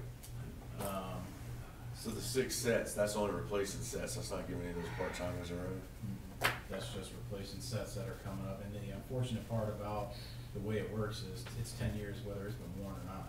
It Something might- It might have never vest. seen a fire. It, it's just one of those things where it would absolutely work in a fire, it's just like a ballistic vest. It would abso, I've shot twenty-year-old vests, I know you have, works perfectly fine. But the minute it doesn't, and they come in and see that it's expired, you're, you're off, you're off. What's the shelf life on a vest? Five. Get outta here. Point blank was ten, I think, but there was, We, we replace ours every five years, that's the shelf life. Um, we had a grant though that replaced We do. the We use the vest. state, we use the actual federal grant for that. Yeah, there's no such fire turnout gear grant? So we do, just like, um, Public Works does, um, our, is it SCMIRF, uh, SCMIT or one of those two, SCMIRF or SCMIT, one of the two has an annual grant, but it's only like three grand. So we do, we do it, so we do three grand for that one, we do three grand out from the state for ballistic vests. Uh, Public Works does it for their safety gear, and then we do the federal law enforcement grant for the vests, um, which isn't, doesn't save us all the money, but it, it's a good chunk.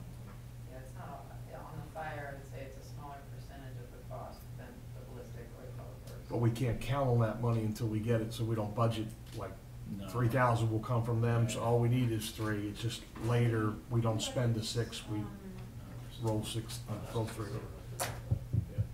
And you ain't never lived until your turnout gear fails, and you're in the middle of a fire. It's just one of those things, it's so unfortunate, cause, you know, a vet- it could look brand, like turnout gear as an example, it could look brand new, and it would work perfectly fine. But the one time it doesn't, and they come in, cause they will, someone's hurt, they're gonna inspect that, OSHA. That's the first you are- thing. You are done, so, Right. And, so, Mr. Farley, we do budget ten thousand in state grants, and that's usually, that's not a specific grant there on your revenue page. It's usually some combination of the grants you just referenced. But we're not able to save on the expense side. We still have to budget. To every department head's chagrin, we make us show it as revenue and expenditures. I guess the auditors make us do that, but. Right. Yeah, you want, you want to just show council, because if you start washing things out, then it's not transparent, right? Right. You don't know what one hand is doing versus the other. So there's expiration, I understand that, but they're also shared, how many people share? Can you just give me a little sense of the sharing? yeah, so, it's, it's, it's a very tough pill to swallow, to Mhm. buy everybody their own gear, cause as you know, with part-time staff, Right. One month they might work two days, Right. one day, one month they might work five days. And typically how we try to do it is folks that do work more Mhm. tend to have their own stuff. Okay, But it's just, it's a hard pill to swallow to say, I'm gonna spend thirty-five hundred dollars on you to come out work once a month. Like, it's just tough. I understand. It's not ideal, but it's kind of a, it's the amount of time yeah, it's just, it's a tough pill. That's how you just- Now granted, they're not sharing things like per, like gloves, you know what I mean, or right. whatever, but, I mean, the, the jacket pants. What's the amount of work? Okay, thank you. It's just, it's trying to balance, Yeah, you needs. know, yeah. Um, so that's that. Um, If we're going with operating supplies, I got one question that kinda got lost in the shuffle. Sure. Um, so, and y'all, Bill and Jim, you might remember this, a couple years ago, last year, we gave Raymond Lloyd and Wagonburn, we gave them additional responsibilities. So we, he was our fire operations chief now, but he's a part-timer. Is that normal? And would he be one that would switch over into full-time if, if, it, to me, you're the boss of your Yeah. company as a part-timer.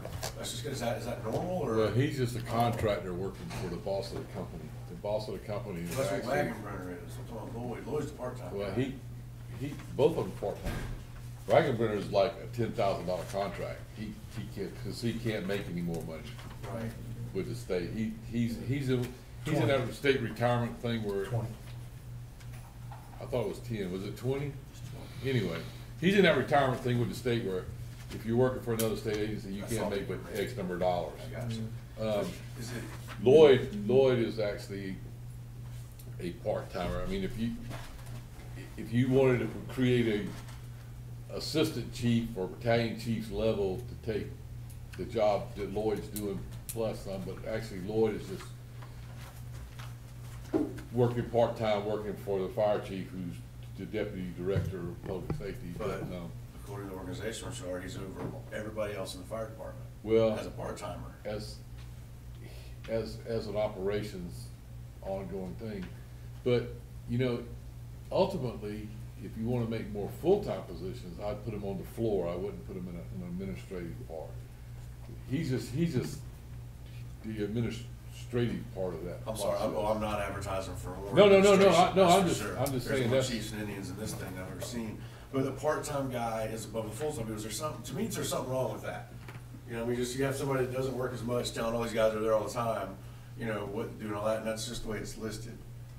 I just, I, I don't know, you know more about that kind of side and you Yeah, guys, I well- have no idea. It, it, like I said, he's just doing more administrative work than, than actual hands-on on the fire. Now, he does answer fire calls if he's here.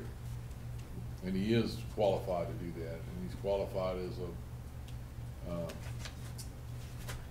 He's also certified EMT, he's taught us the EMR course. yeah, but, Certified but, instructor. That's no, all no, wonderful. uh, no, I'm just saying, uh, he's also a certified, uh, fire marshal.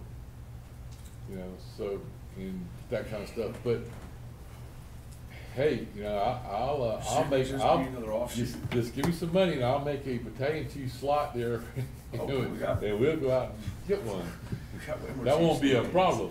But should, I mean, shouldn't this, wh- why should this be above, shouldn't be over on the same side of this wagon burners off to the side, and they all report? Well, we, we could draw it that way. I mean, there's, I mean, cause I'm, that's just on the paper. There's, there's a lot of redundancy with, with descriptions, and I think this is something that kinda confuses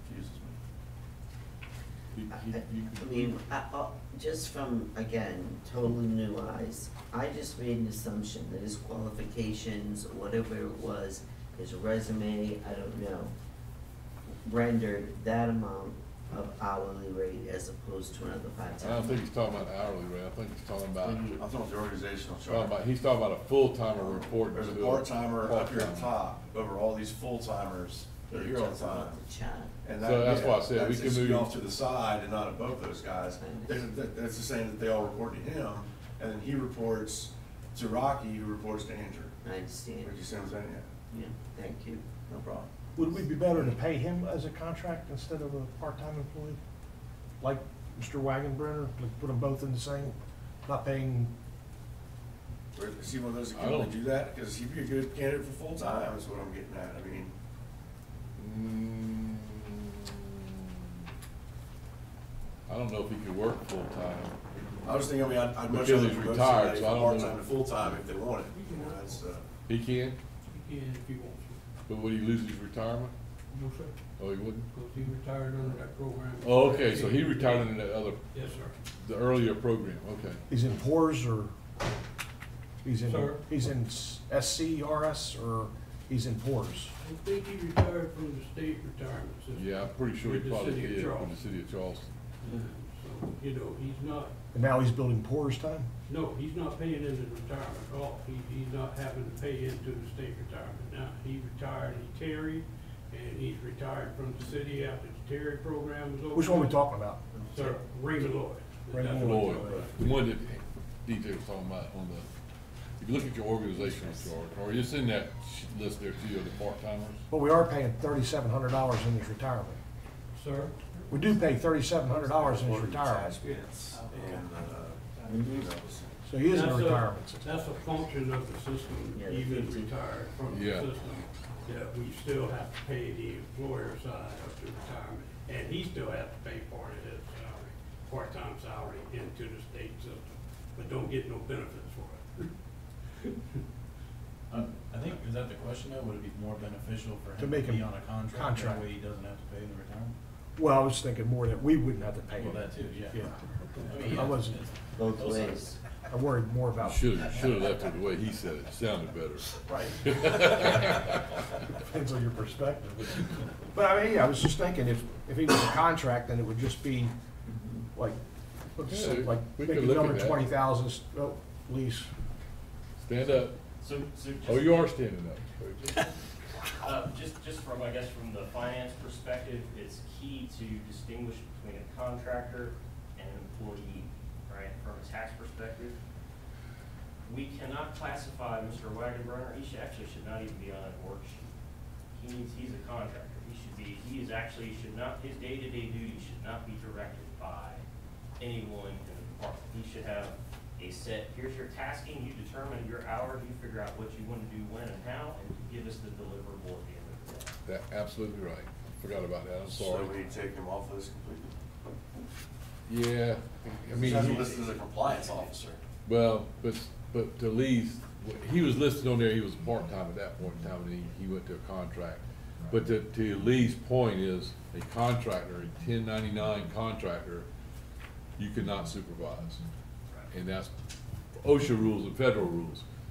Um, Yeah, so, so here you go, uh, you say, okay, you have to do X, Y, and Z for this contract, and you have to deliver it to me by May the first. And you go do it and get it done, however you're gonna do it, and get it done. Um, To Raymond's point about being a part-timer, because he comes in and he does operations for all four shifts, so he's working across all four shifts, he, uh, you, you'd have to leave him as an employee. Well, he could set, he still sets his own schedule though, right? Lloyd sets his own schedule, or you, you schedule him? I mean, is it not, just because he comes in more frequently, doesn't mean he's not in charge of his own schedule, which was what Lee's point was, right? So- Right, it's, it's, you No. can't be tasking them, you shouldn't even really have a You can't in the supervise office. them. I mean, it's, it's a, you can work from home if you wanted to, if you're performing a deliverable that has to be on premises, they give them maybe a workspace, but it's not a designated office with a name tag. An auditor walks in and they see all that, and you're even supervising personnel, they're gonna say, uh-uh, you're an employee, you should be taxed as such, and you should have all the perks and benefits thereof. The fact that he's supervising personnel. And Yeah. That could certainly be I a I ballpark. thought he was just a training officer making, doing the certification work to get people certified. In That's, certain that's places. another good point. Tagging Who up you talking job description. Wait, hey, Raymond. Raymond, right now, Raymond. Raymond. So what does Raymond do every day?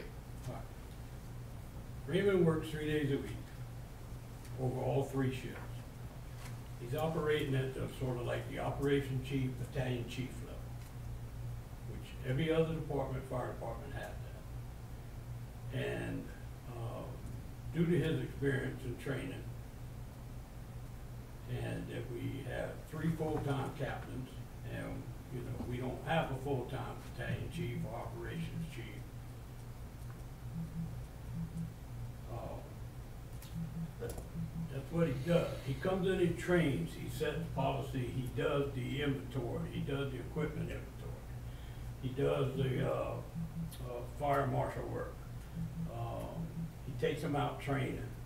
He, uh, makes sure that the whole testing is done. Uh, The apparatus testing is done each year. And like I said, he's an EMT and he responds to calls and he fills in, like if we got a full timer out or we only got two per day, uh, he fills in during the day on them weekdays until we can get a part timer in at night or somebody to cover at night. And, he actually rides the truck and answers calls and he actually answers, answers calls as a chief level officer. Okay, just for my clarification, so is he, because there were two different names, is he, is this individual a ten ninety-nine person basically No, gets. the one he's that's talking a- about right now is a W two person. Okay, so those are two, two different things. So he is an employee, Yeah. Part-time. Okay. This one is, there, there's no job description for him or Wagonburner's contract. Do we have Okay, one of who's the those? other man? Wagonburner is the contract guy, yes. Yes. This guy, Raymond Lloyd, is an employee, that's the difference between the two that they were going back and That, that's, yeah, that- that's what I was following, and I was like, Do we have job descriptions for them? I asked TAC and I didn't, she didn't have anything. I, uh, thought we submitted one last year. I thought when it was asked last year, I thought we Uh, submitted a job description. Yeah, there was a whole, you know what, I just got rid of all that paperwork. You save it for a damn year, you don't need it. I mean, if we got it in the budget books, Yeah. I mean, she didn't, she didn't have one on He- file. he- he- And I he's- didn't- I he's- didn't have one in my budget book for last year. Yeah, so he, he is what, his job description was basically what Rocky just said, other than the answering the call thing. He was, he is the operations person Mhm. for the, for the department, which would have been, if you go to a fire department, say, an operations person for the department. I was just gonna say, if you look at, um, talking about full-time, so we have a lieutenant in the police department that does what Raymond, do- full-time, what Raymond does as a part-time Mhm. person in the fire department. Right. So, No, I get so, no, no, no, no, no, I'm just saying, so, see so if we want to, if you wa, if, if you, get- if you're, if you wanna make sure that full-timers report to full-timers, we can make this a full-time position, it's just gonna be cost. He started doing it as a cost reduction to the fire department, or, actually, we didn't have anybody doing it, but it was a cost reduction to do it part-time versus full-time in the beginning. I, don't necessarily have a problem with that, but I would like to know that everybody has a job description at some, some, somewhere in this system, so. Yeah, I said, I just, because I had them all write their jobs, job descriptions down and turn them in to me a year ago, and And I I'm just, sure it's somewhere. I just threw all that away the other day when I was cleaning out in the move. That's what moving does got for a you. second, with the, with the rundown of the police certifications, can you want to put one for the fire too? Yeah, it's all the same. Cool. I figured it'd easy. May I offer this to you? In reference to Robert position as the compliance officer, contract employee, and as Raymond Lloyd part-time position. Very respectfully, I would offer to you that a compliance officer for the city of North Charleston makes almost fifty thousand dollars a year. Fifty thousand dollars a year. A battalion chief in a full-time fire department ranges from sixty-seven thousand a year up to ninety-some thousand a year. My point being that for what Robert and Raymond do, Robert being the compliance officer, complying with all the OSHA regulations, which is a very important part, only, not only in the operation of the public safety department, but citywide. And writing the city manual, city safety manual, and OSHA regulations to be followed. I would say that we're getting a bargain with them two part-time salaries, or the one contract salary and the one part-time salary. And you're getting full-time work out of them part-time positions. And as chief level officers, yes, they're over the full-time. You got some volunteer departments that have volunteer battalion chiefs of the stations. That's over full-time paid persons. And you got volunteer assistant chiefs over full-time. And I would just offer, Well, what I'm also hearing is, even though I don't really know these people, is that Robert is contracted, he gives deliverables like manuals or whatever you just said. So technically, we are still okay with the way that we deliver this. A ten ninety-nine, he's got deliverables, he's got, you know, the, the deliverable is a manual of this or that, compliance. On the other hand, what I'm hearing also is that we have someone that's part-time, that has a certain level of qualifications determined by, you know, you all. And those are just two different discussions that make sense to me now. Yeah, it's two different jobs. Okay. I'm with it. Yeah, so, so, so you think of Wagonburner as he delivers manuals and Yep. Procedures for following rules and Consulting. regulations. Yep, ten ninety-nine. Take the Lloyd- title off of there. Lloyd delivers, um, operations, which includes testing and And he's repairs, quoted a cetera, et part-time cetera. employee because of that job description. Okay. Um, um, And, and Robert would have been a part-time employee except for his, his retirement Restrictions. screw up, yeah. Yep, I, the Ac- deliverable. He actually started out as a part-time employee, and then he found out he was getting ready to get in trouble in, uh, the first year, and is like, oh my God, I can work till April the third, I can't work no more after April the I third. understand. Officially, you can call me and I'll talk to you, but I can't, you can't say you're He's a paying me, I'm not consultant. working, right? He's a consultant. Yeah, basically, think Um, about I'm- it. um, Uh, Are we waiting or we keep going? You wanna take five minutes? A break, It's up to you. Sir. for personal break? I have a few handouts. That's all we got, I mean. Uh, Yeah, I'm- should have gone out before we started. A few handouts for what? For, for you all, replacement sheets from the last meeting. Oh, man, replace hold on with for new minute, sheets. Don't confuse us with Yeah, don't, don't, We're, we're in the zone right now, man, let's finish the zone out. I mean, I- To be honest with you, I, I only have a couple questions left on fire, and then we're gonna take a break, if you just wanna all go right, through well, it. you got, I'll get So, through I it. mean, There's not that much left. Um, a redundant question is the fifteen hundred dollar employee water rescue and EMT training in the fireside. Same answer as the police, I assume, just, y'all are doing that, just getting cheaper through Coast Guard and stuff like that. But our guys are getting up with their EMT and things of that sort, so they can start life-saving measures.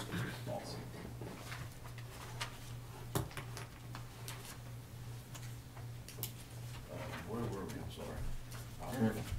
uh, Operating supplies?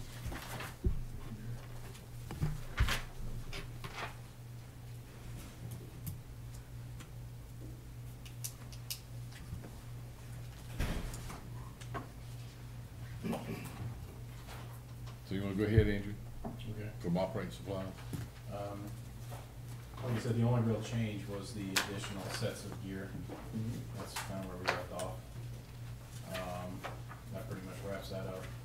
The next, the next change for the fire department is a request for advanced training in the dues and training department. Um, The only real big change there, and that was a request, for SPI training, it's a leadership school for Deputy Chief Burt, that was the only real change there. Um, Uh, Just to be, again, it's the educator or not. Um, so SPI means, how does that benefit us? It's professional development and, Yeah, it's a executive level law enforcement course. Okay, Uh, executive. Southern Police Institute is the University of Louisville. mhm. Wouldn't this be in police though? Um, yeah, we can move it there, that's fine. We're, I mean, So This is that's- Southern Police. It's expensive. It's very expensive, I think it's very excessive for somebody who's already a leader, who's been a leader for years. I mean, that's more than we spend on other duties and training, I don't remember spending that much money on that. Yeah, I'm not, I mean, can we not find a cheaper leadership school, just like a continuing education here in town, I mean, that's, that just seems like a lot for somebody in that position. If it was a new guy and you wanna build him up to promote him, oh wait. All right, uh, you just said you can cut it out. which one exactly? um, The, the last the leadership, so the other question I have is, we, where was it at? We typically, we typically have four thousand in for two firefighters in the fire academy. Thank you. But this year year's only one thousand budgeted, and it still says for two personnel. So what, what changed with that? That's a, I know, I just thought it was kinda weird. It's not a lot of money, it's just weird. Yeah, one of the things that we found is that, like, for instance, uh, me and Lieutenant Lavick were able to do, went to the fire academy last year, but we did like a hybrid course. And just the cost there was just less than actually going to the Littman Academy. Um, and it seemed to be a lot more, um, conducive to like family life, so, cause a lot of our guys have families and things, so I've, we've gotten a lot more interest to do it that way versus like actually going in-house and staying somewhere. Gotcha, so it's just a lot cheaper as a program but it still gives the same mm-hmm. certification, same, same thing. just Same a- program, but no dormitory. That's awesome. Who wants to stay up there with somebody? Well, you gotta, you gotta be willing to drive back and forth to Orangeburg. Orangeburg. Three times a week or something. It's easy to get to Orangeburg than to Mount Pleasant, okay? All right. I love President's Halls. And, and it's kinda like, it's always six to nine at night, you know, so it's, Oh, that's Uh. May I point Or- out also that, uh, more and more in Taylor Curlin were sent to North Charleston Recruit School, which is the same thing. yes. Is the money, the eight-week course up at, uh, Columbia. the academy, and that was at a reduced savings also. And that was a straight week thing instead of, uh, They run their own academy, right? sir? They run their own academy, but then there's some weeks They you run have their own to. academy as with the city of Charleston, but to get that firefighter two, they teach the firefighter two curriculum, uh, plus additional items. It's not like, uh, law enforcement, you can run your own academy, but you still end up having to go to Columbia or for some training or something like that, or? This state doesn't allow individual There's academies. no- okay. One more infusing training, the EMC basic life support training. That is following up with what we spoke about, getting those guys further um, accredited so they can do more things. What is, remind, what are the different levels, like EMC, and aren't there like two or three? You have first responder, which is like real basic, and then EMR, which is next level up, EMT, and then paramedic. Okay. So as, as, a- as the EMT, they can like, you know, start IV, they can do a lot more things as that. Each one has a specific medical director guidance that says you can do these specific items. Right. And you can only work up to the level that the agency is certified, since we're BLS, they can't work any, high- even if they are a paramedic, they have to work at that EMT level. Gotcha.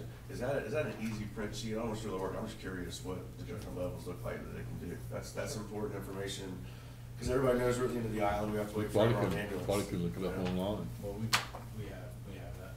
Because we have to, our guys have to sign off knowing and acknowledging, hey, this is the maximum level I can work at. this level. Right, that's, that's great. I mean, that that really is, that's great. Speaking, speaking of that, uh,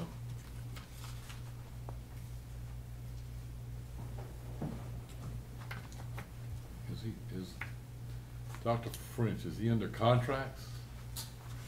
Yeah, it was there as I was well trying to as- remember, where- yeah, he's at the bottom line of the contract, so that's what Dr. French is for. He, he's the guy that's the, And what that. the medical officer that Andrew just relayed to. And what that Anybody have a specifically, question, Doc- we, Dr. we French. specifically have to buy medical malpractice insurance to have him, to cover him for signing off on our SOPs. Gotcha.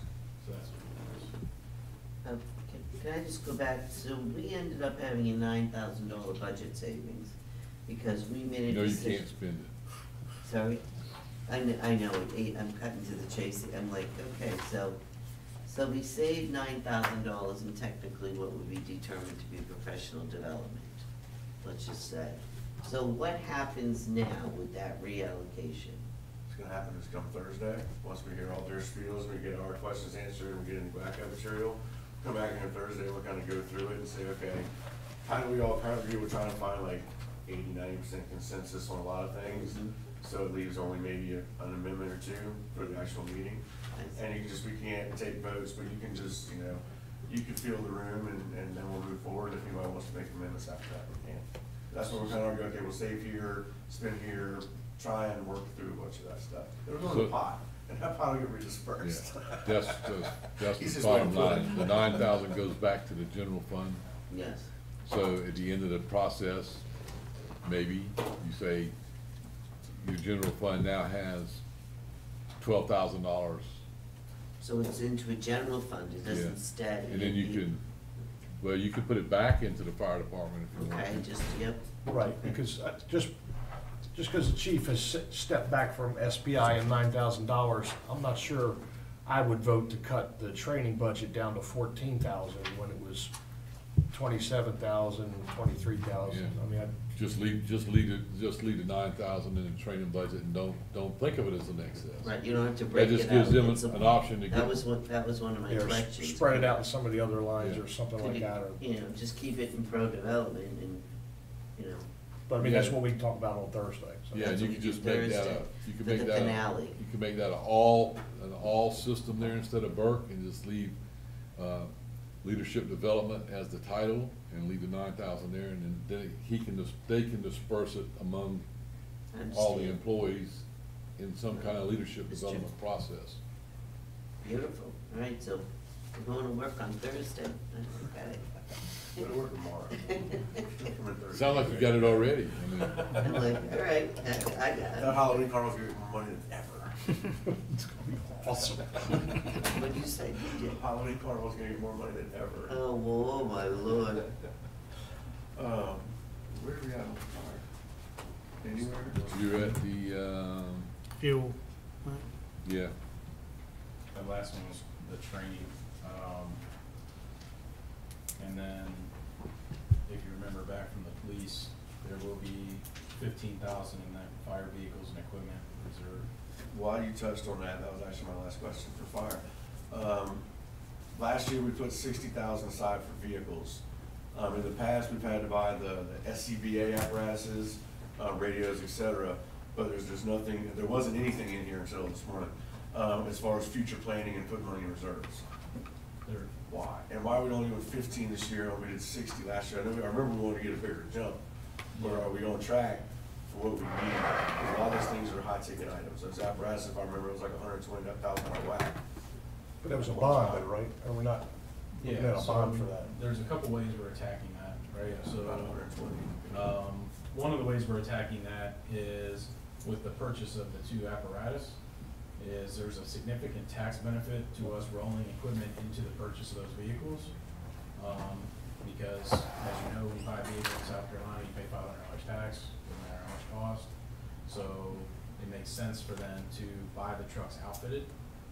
A lot of those items are replaced in that, because then you're paying five hundred dollars in tax versus tens of thousands in tax. Um, so that's typically how most departments do that, so we're, that's something we're doing as well. Um, that's one reason.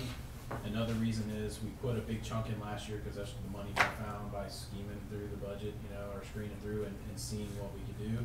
This fifteen is what we could do this year. Screening, screening, Yeah. scheming. Screening's better than scheming. It's all good, it's all I really good. got something to believe. Anyway, and then, uh, the other way, that's, the fifteen K is where we were at this year. Uh, that being said, based on what we're getting so far in the negotiations with those apparatus, we believe that, that, along with what's in there already, gets us to a really good starting point, and along with the, the bond that y'all, I think we're gonna be under budget, is what it's looking like so far. So, we felt safe, and that's where we're at. Okay. Um, So that was a, I remember we had that hundred twenty thousand dollar whack, and that wasn't fun.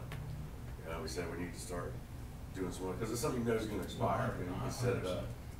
Um, that, that was, that was all I was asking, as long as you feel comfortable putting that in reserves.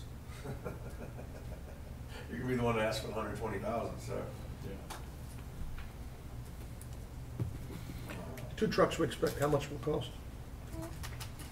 Uh, Total, yeah, remember, I think we initially estimated it was just shy of two, and then it'd be cheaper. Do you remember what the most recent quote is on that, on the two trucks?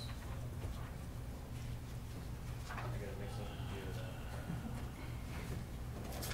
I want to it was right under two million. I think it was I think it was like one point, uh, one for the ladder truck. Said one million for the ladder, eight hundred thousand. Eight hundred for the engine, Something like so, that. In that a little neighborhood. under two million for both the ladder and the engine. Eight hundred some thousand for the engine and, uh, right at one point two, one point one Yeah. for the ladder. when we talk about hundred and twenty thousand, really the, the big pill's one point nine, Yeah. Which is why we set up the reserve to, to Right. Mr. Rich's point to kind of, And also the plan was the, the, uh, now this, this, this past July, which is this quarter one budget that we just operated in. the bond that's- went off. That bond for the public safety building, that the last payments, that's hundred and twenty thousand-ish that comes off the budget next year that will be. Throw it right back reallocated on, right. Towards probably a, uh, lease purchase for these apparatus. Thanks.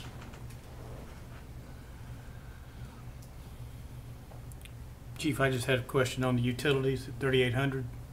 Uh, it's gone from, in the budget, from like two grand up to thirteen thousand. I think that was a reallocation. Um, last year, our utilities was out of whack, Okay, so we were over in one. Um, and I think there's a couple of accounts we had like that that weren't getting, the accounts weren't taken out in the right way. They were all pulled out of police or not pulled out of one. And so there's just been a reallocation based on where the things actually are. Um, housing was one other one that was like that. Um, it wasn't that they were overspent, it was just that they were not in the right accounts. I don't know if that makes sense, does that make sense? no. Um, Like, like as an example, let's use, let's use a housing allowance, just because I can, I can speak that one off the top of my head, Okay. you know, you had fifteen thousand, um, earmarked for police, right? Ten thousand for fire and seven thousand for dispatch. Well, the problem with that is if the person getting the stipend's not in dispatch, they're a police officer, it's all coming out of the police account. So it will look like the fire, the dispatch one hasn't been touched and the police one's over, when really the total amount is exactly Right. the same. In the police utilities, you're going from forecast of twenty-four thousand to a budget of twenty-one thousand. So, Yeah, so some of that's getting moved to the fireside, and then, just I guess with Aaron, that, that- a lot of that's based on, you know, like the hotspots or whatever, the phone and hotspot combination thing that we use for internet access when you're out and about. Um, So that's where those costs. Okay, could be that's where utilities. those Okay, costs all are right. Coming from. It's not just water our electricity, or right. electricity. Yeah. Well, water we got covered, don't we? No, that's a separate, that's a Separate separate business all on its own. Okay, We'll- well, there You'll you talk go. about that later. Okay, that's like, okay. You wanna go up on the rates later. Okay, Chief, uh, question on, uh, the third, third exhibit, the, uh, back to the overtime, the eleven oh four. I'm not sure if this is for you or for Lee, but there seems to be consistency in that overtime's roughly hundred and fifty percent. Um, in every other area, police, dispatch, public works, but for some reason in fire, um, it's fifty percent. Is the way in which we pay fire overtime different? Some of the fire tab, sorry, the fire tab, third, third page. that's a, that's your question. Oh, I'm sorry, I missed it. Yeah, so the. It's, it's your, it's your formula, it's your question. Yeah, fire, fire tab, third page, Fire tab, third page. overtime, eleven oh four. Okay. So for police, um, dispatch, and even public works, we pay overtime at a rate of one hundred and fifty percent. But when you do the math on this overtime column, it looks like it's fifty percent, not one hundred and fifty percent.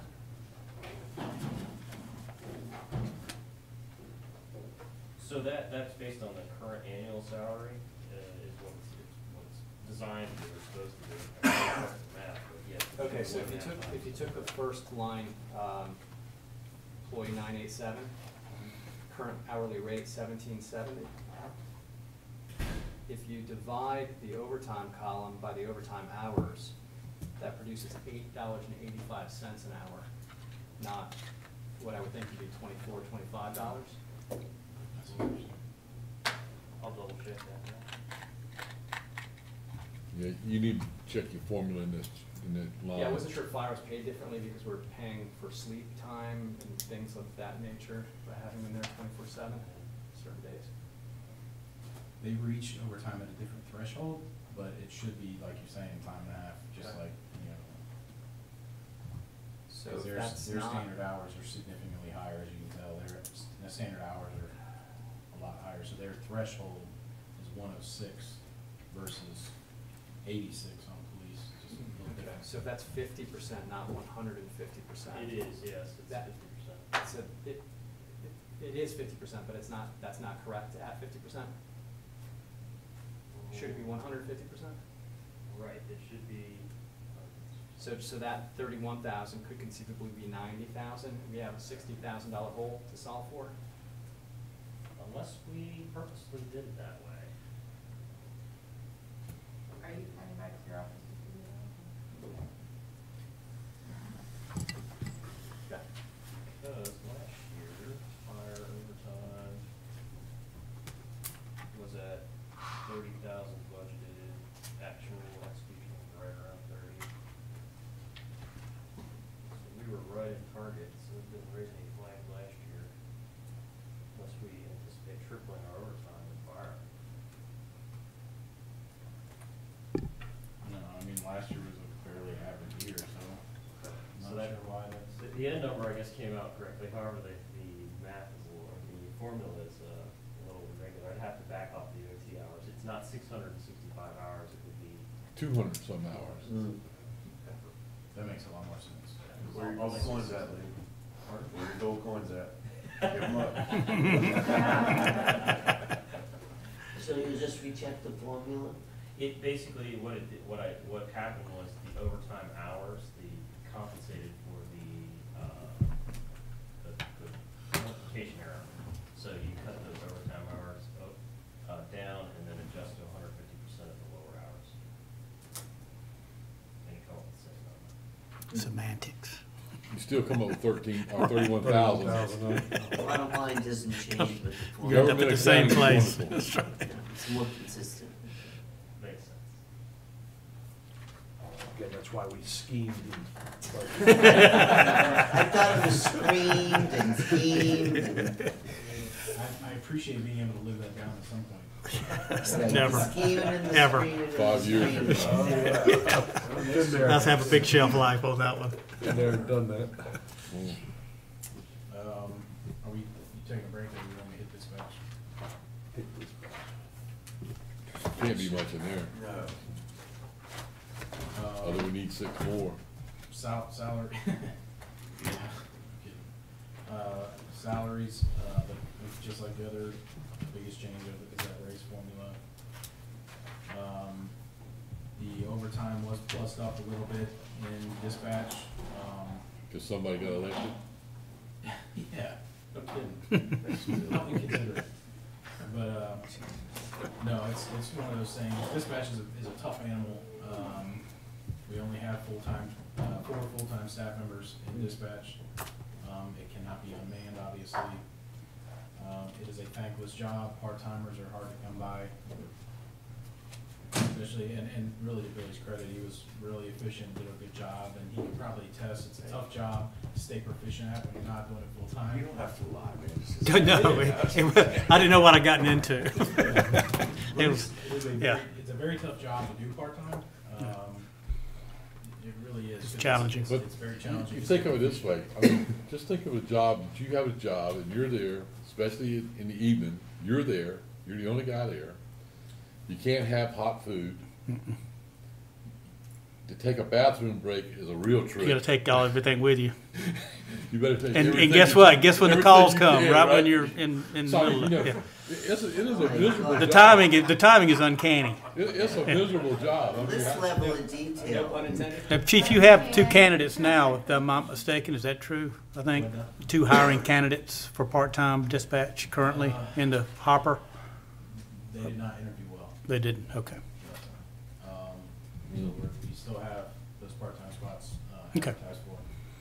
Um, So how- how, how do we fund, um, and I think Spencer may have gone through this, we fund, we have about like five thousand dollar budget for advertising and the administrative. Does that include, uh, recruitment for police and all, the whole shebanger? It does, I mean, you know, I don't know that, I don't know that I would describe our current strategy as like an active recruitment. I mean, I think Yeah. we're always in the hunt for different websites to try Yeah. and different Well- things to do, but, um, a lot of what we use is no cost, we use municipal association, our website. Right. But yes, occasionally we do put it out there, those larger websites. Well, I'm just thinking, you know, job fairs or, I mean, there's a lot, I think there's a lot of opportunity, or something, that we can get a little more aggressive on recruitment, both for beach and parking, dispatch, um, police, or whatever. As a municipality, are we permitted to, um, provide, um, referral bonuses?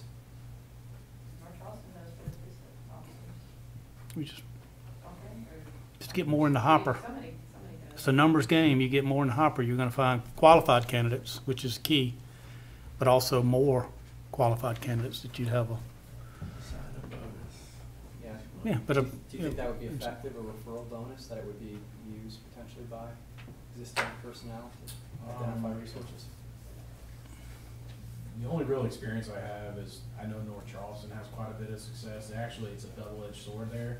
They give a referral bonus, like a portion to the active employee who goes out and says, hey, whoever, and then the person that comes in also, that usually it's paid half when they get on board and then another half when they pass their probationary time, is typically how they do it. Um, and I know they've been pretty successful, because of course, every officer and their brothers, you know, call them their friends, because they know they're gonna get a little bit of a Kick, yeah, well, well, no, okay. I have one question. Why are we putting twenty-one thousand into central dispatch record management reserve? Um, that was there simply because our, so there's two things there. So contracts is also plugged into your question, so I'm not sidestepping. The, the contract line, that ten thousand is in there because we are in the process of currently building a bridge between county's dispatch system, uh, it's called Rapid Deploy, and our RMS system, which is our records management system. And the reason that's important is, and how those two work together is, your CAD system is your computer aided dispatch, right? So that's where, you know, like if you're the caller, you call in, hey, I'm John Smith at one two three, you know, Jones Street, I need a police officer, right? So that creates the initial response screen to which the dispatcher works off of and sends units. And then as the call progresses, you know, if you say, if you're the officer on the scene or the firefighter and you say, hey, I'm in contact with Mrs. Smith, you know, whatever, they run the information, that gets entered.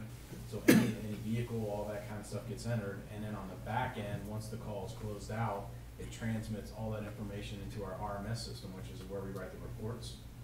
Um, so those two systems have to mesh, and the benefit of using count, or having that is, so, you know, in years past, one of the big issues with nine-one-one calls is that there's a lot of delay in that someone calls nine-one, county answers, they have to create a CAD screen, and then it gets sent to a call taker, and then that call taker has to call our dispatch, and then we have to redispatch and create our own system. Well, what this will do is that we will share CAD with county at their cost, right? So county's paying for this, this, their, us to use their system.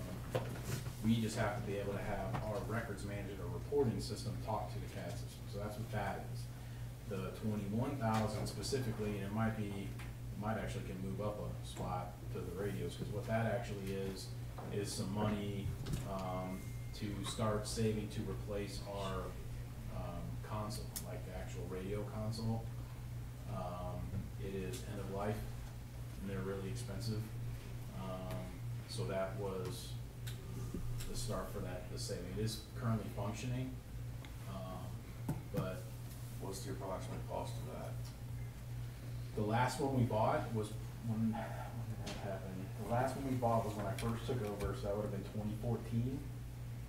And we bought a used one from James Island because they moved from their own dispatch to county, so we bought a used one from them. And it cost us about twenty grand. Um, I would estimate currently, they're probably closer to 30, 30 to thirty-five, um, using those, that previous experience. Right. So we, that was some money that we had gleaned through the, through, going through the budget, and we put there in the reserve, to where hopefully we can save up and buy, buy one. Okay. So what's the, the fifty-six thousand line item for the twenty twenty forecast actual? So we spend that on something? Yes, that's what we spent on the encryption. Gotcha, okay. I, because we A need to portion of that what- account That's a portion of what we spent on it. Right, no, no, I, I remember now, I just, I just wanted to clarify. So what's left in that reserve, thirty thousand dollars? I'm not sure what's. Just make sure we're not building up a balance to go back. Uh, Chief, um, Thirty thousand? Chief, would we, if we incorporated with the county's system, we would have to change the Allen Yeah, system? you, the way it'll work, once this all, you know, once this all happens, is that the actual CAD system, so just what the dispatcher uses, Right? will be strictly rapid deploy. It's that, that system that they use. So you will no longer use Allen. Okay. Is there would be, is there money in there for retraining or at transition County time? said they would provide. They provide, okay, perfect. Basically, we would have to basically send our people there, you know, so it's probably gonna cost us some overtime. Okay. But we'll send our people there to get trained. But they would cover the cost of the train. Yes, Okay, yes, perfect. They would cover the cost of training. Um, and then from uh, one, ben, well, not one, but one huge benefit to that is basically how it work now is instead of that, only having that transfer of nine-one-one calls, Mhm. when county takes the nine-one-one call and they enter the information. It's been filled in already. It's done. Real time. Beautiful. That's perfect. you That's won't ideal. have- You don't have to worry about that Brilliant. loss and then Yep. redo all the information. Got the T-shirt. I know. Yeah, it's a big deal. It's a big deal. It is a big deal. Yeah, that saves so much time, especially in an emergency situation. Yeah. I didn't understand Mr. Rich's point, is it was the fifty-six thousand, that was spent on encryption, or there's thirty thousand dollars left after encryption? We spent that earlier this year. We pulled it out of reserves for something else, and there's thirty thousand left in that account. I worry every time, and Tim understands, because we, that, that account was created years ago, when we were contemplating going back to the county's consolidated nine-one-one dispatch. And we spent that money as fast as we could, so that we couldn't go back to that nine-one-one dispatch. So when people just add money to that, I'd love to rename that account something else, it just removes that stigma. Well, actually, we probably need to take the twenty-one and, like you said, move it up a line for, um, Police instead of radios or- record management to radios or police slash dispatch radios console. And I- Because the last time, we got lucky when we got that system in two, I forgot about that, in two thousand fourteen, because our system died, a hard death, and those guys just happened to be sitting on one. I mean, we were really lucky on that one, we could just pick it up and bring it over. Uh, So we, we need to really think about, before we have another hard death in that dispatcher's system, Yeah. uh, getting the thing upgraded. And if we have, and if there's a balance in that reserve, the records management previous account or whatever, if there's a balance in there, we gotta come back anyway to spend it out of reserve, and we could probably just tag it together and get moving on that. Do we, we save everything on a local server, or does everything stay on the county server, and then we access it from So, we are pretty much specifically moving towards cloud-based computing, that's like the way, that's just the way things are going, so our records management is cloud-based, um, and there's multiple backups. Um, our body camera stuff, which was currently in-house, is moving to cloud-based, our, our in-car cameras are moving to cloud-based through WatchGuard, uh, Motorola bottom mount, um, so that's all Will we be. on our own cloud, or will we be on a partitioned section of the It's- county's cloud? It is, no, that, so, the county also does, they do on-prem and cloud as a backup, and I think it's somewhere in Tennessee or something like that. Actually, I think there's two, two backups, um, and that's just in case multiple things happen at once, but anyway, we would basically, our CAD records, we would be able to research the same CAD records, there's no partition specifically. It would just be like geofenced, so like, if I'm searching for records, you know, I type in Folly Beach or whatever zip code, it'll, would only grab our information. So it's not specifically partitioned, it's just.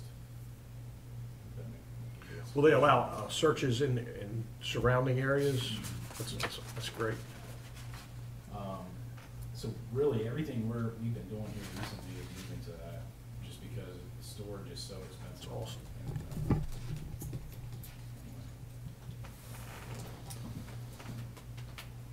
uh, Any more questions? Not on, not on dispatch, just, um, back on police. SUV one seventy-two seems to be an outlier for mileage. Is that, uh, is that used to transport to North Charleston? Is that potentially one? Um, Uh. Yeah, twenty, twenty, uh, nineteen mileage, fifteen seven.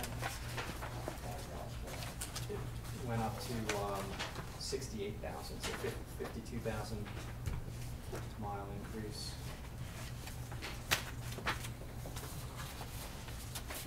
Do the last page, uh.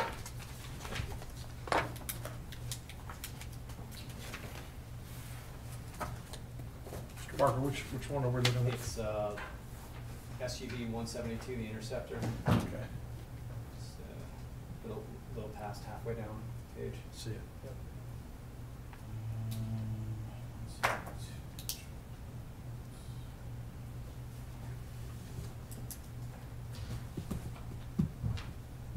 This really stands out compared to the others. We had a couple. We have a couple there that are stand out. Um, that are about the same the same year, um, not the same miles. Just the one-year mileage increase of fifty-two thousand. And some of that I've noticed is we get our, like, I, I take this information off our gas receipts, and sometimes I don't get those as routinely. Um, and so when they're reported, I might have a big gap. Um, so that nineteen mileage might have been under-reported, depending on when I did this report. Um, Why gas receipts not odometer? Um, because I don't have to track down the person, I can get it straight from what they're, you know, what we're getting off our credit card receipt. It's just an easier, like when I go, you know, I'm trying to track down to twenty people, I can just look at one receipt, and take the mileage off that receipt versus trying to call, call you, call you, or whatever the case may be. Cause that's what you enter, that mileage is what's entered, you know, when you scan your gas card, or you swipe your gas card.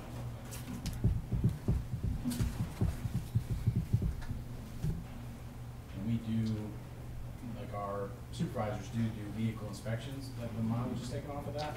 But again, it's, it's just the ease of when I'm writing the report. Does that make sense? Like, uh, so our supervisors do once a month go in there and they inspect the vehicle, write the mileage and that will come from the odometer. But when I'm doing this report, it's, you know, I take it off the gas receipts. But it might be somebody who lives farther from Yeah, town. that Summerville takes or it somewhere. For sure, builds up those kind of miles. Yeah, that's one thing that's unfortunate. Uh, Just the cost of living nearby sometimes is, is prohibitive for lower paid employees, so they tend to live further out. And so sometimes they rack up their miles driving back and forth. But, And we, we pay that gas? yes, sir. That's why we had a lot of discussions about extending the, the stipend to include even James Island. Maybe not, not paying a full stipend, but paying like a reduced stipend to encourage people to come and live a little bit closer. We had a long discussion about that. For the housing allowance. Correct. The offset of the housing. Which would- which would improve and the the And it's good retention if they're here. And the Yeah. community. They'll love so it. the- the They'll stick offset. around. Yeah, a lot of our staff, I would say the large majority of our staff has to live pretty far out. Mm-hmm. You know, even, even Summerville's getting kind of expensive, so that, they're even on kind of the outskirts of Summerville. I mean, you know, not to throw this out there, but if what you see what they make and they find housing, it's just, Yeah, prohibitive. So there's something for us to keep an eye on then, if people are still having to move further and further, yet commute longer and longer, and we're paying I I gas can't, and. I can't imagine having to drive an hour to work. I just think that's terrible. Thank you.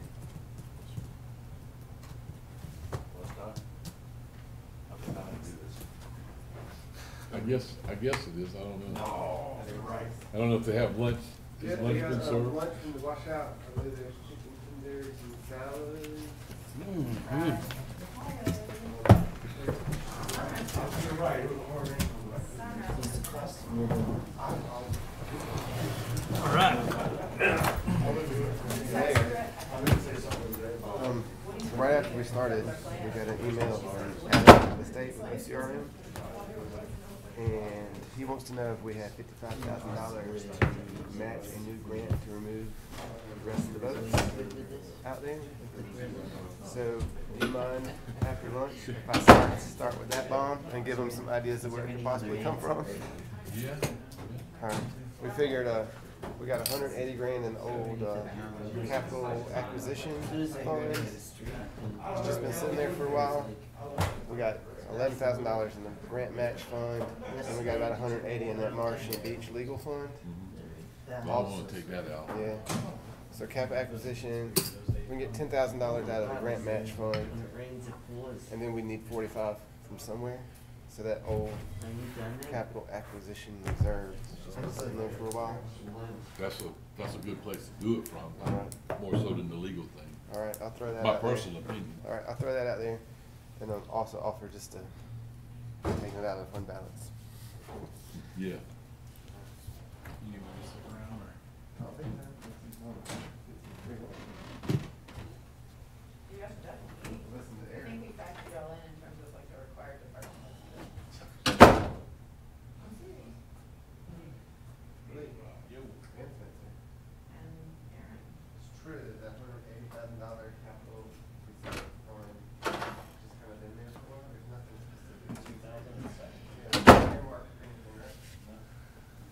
talked about it, we got it around, we talked about like the history museum, we talked about, Pedestrian paths, we talked about yeah, we've always batted it around. City we've Hall never stuff. talked about it. Ms. Wetmore, can you turn the mics off? Oh, yeah, sorry, okay, let me make cat jokes, I screwed it up last time. Hey, It's Cat. been kicked around. That's another bad. You're on the right path with the records management, uh, dispatch. Yeah, I was, I was actually super happy that they were willing to allow that. It helps everybody. It helps everybody.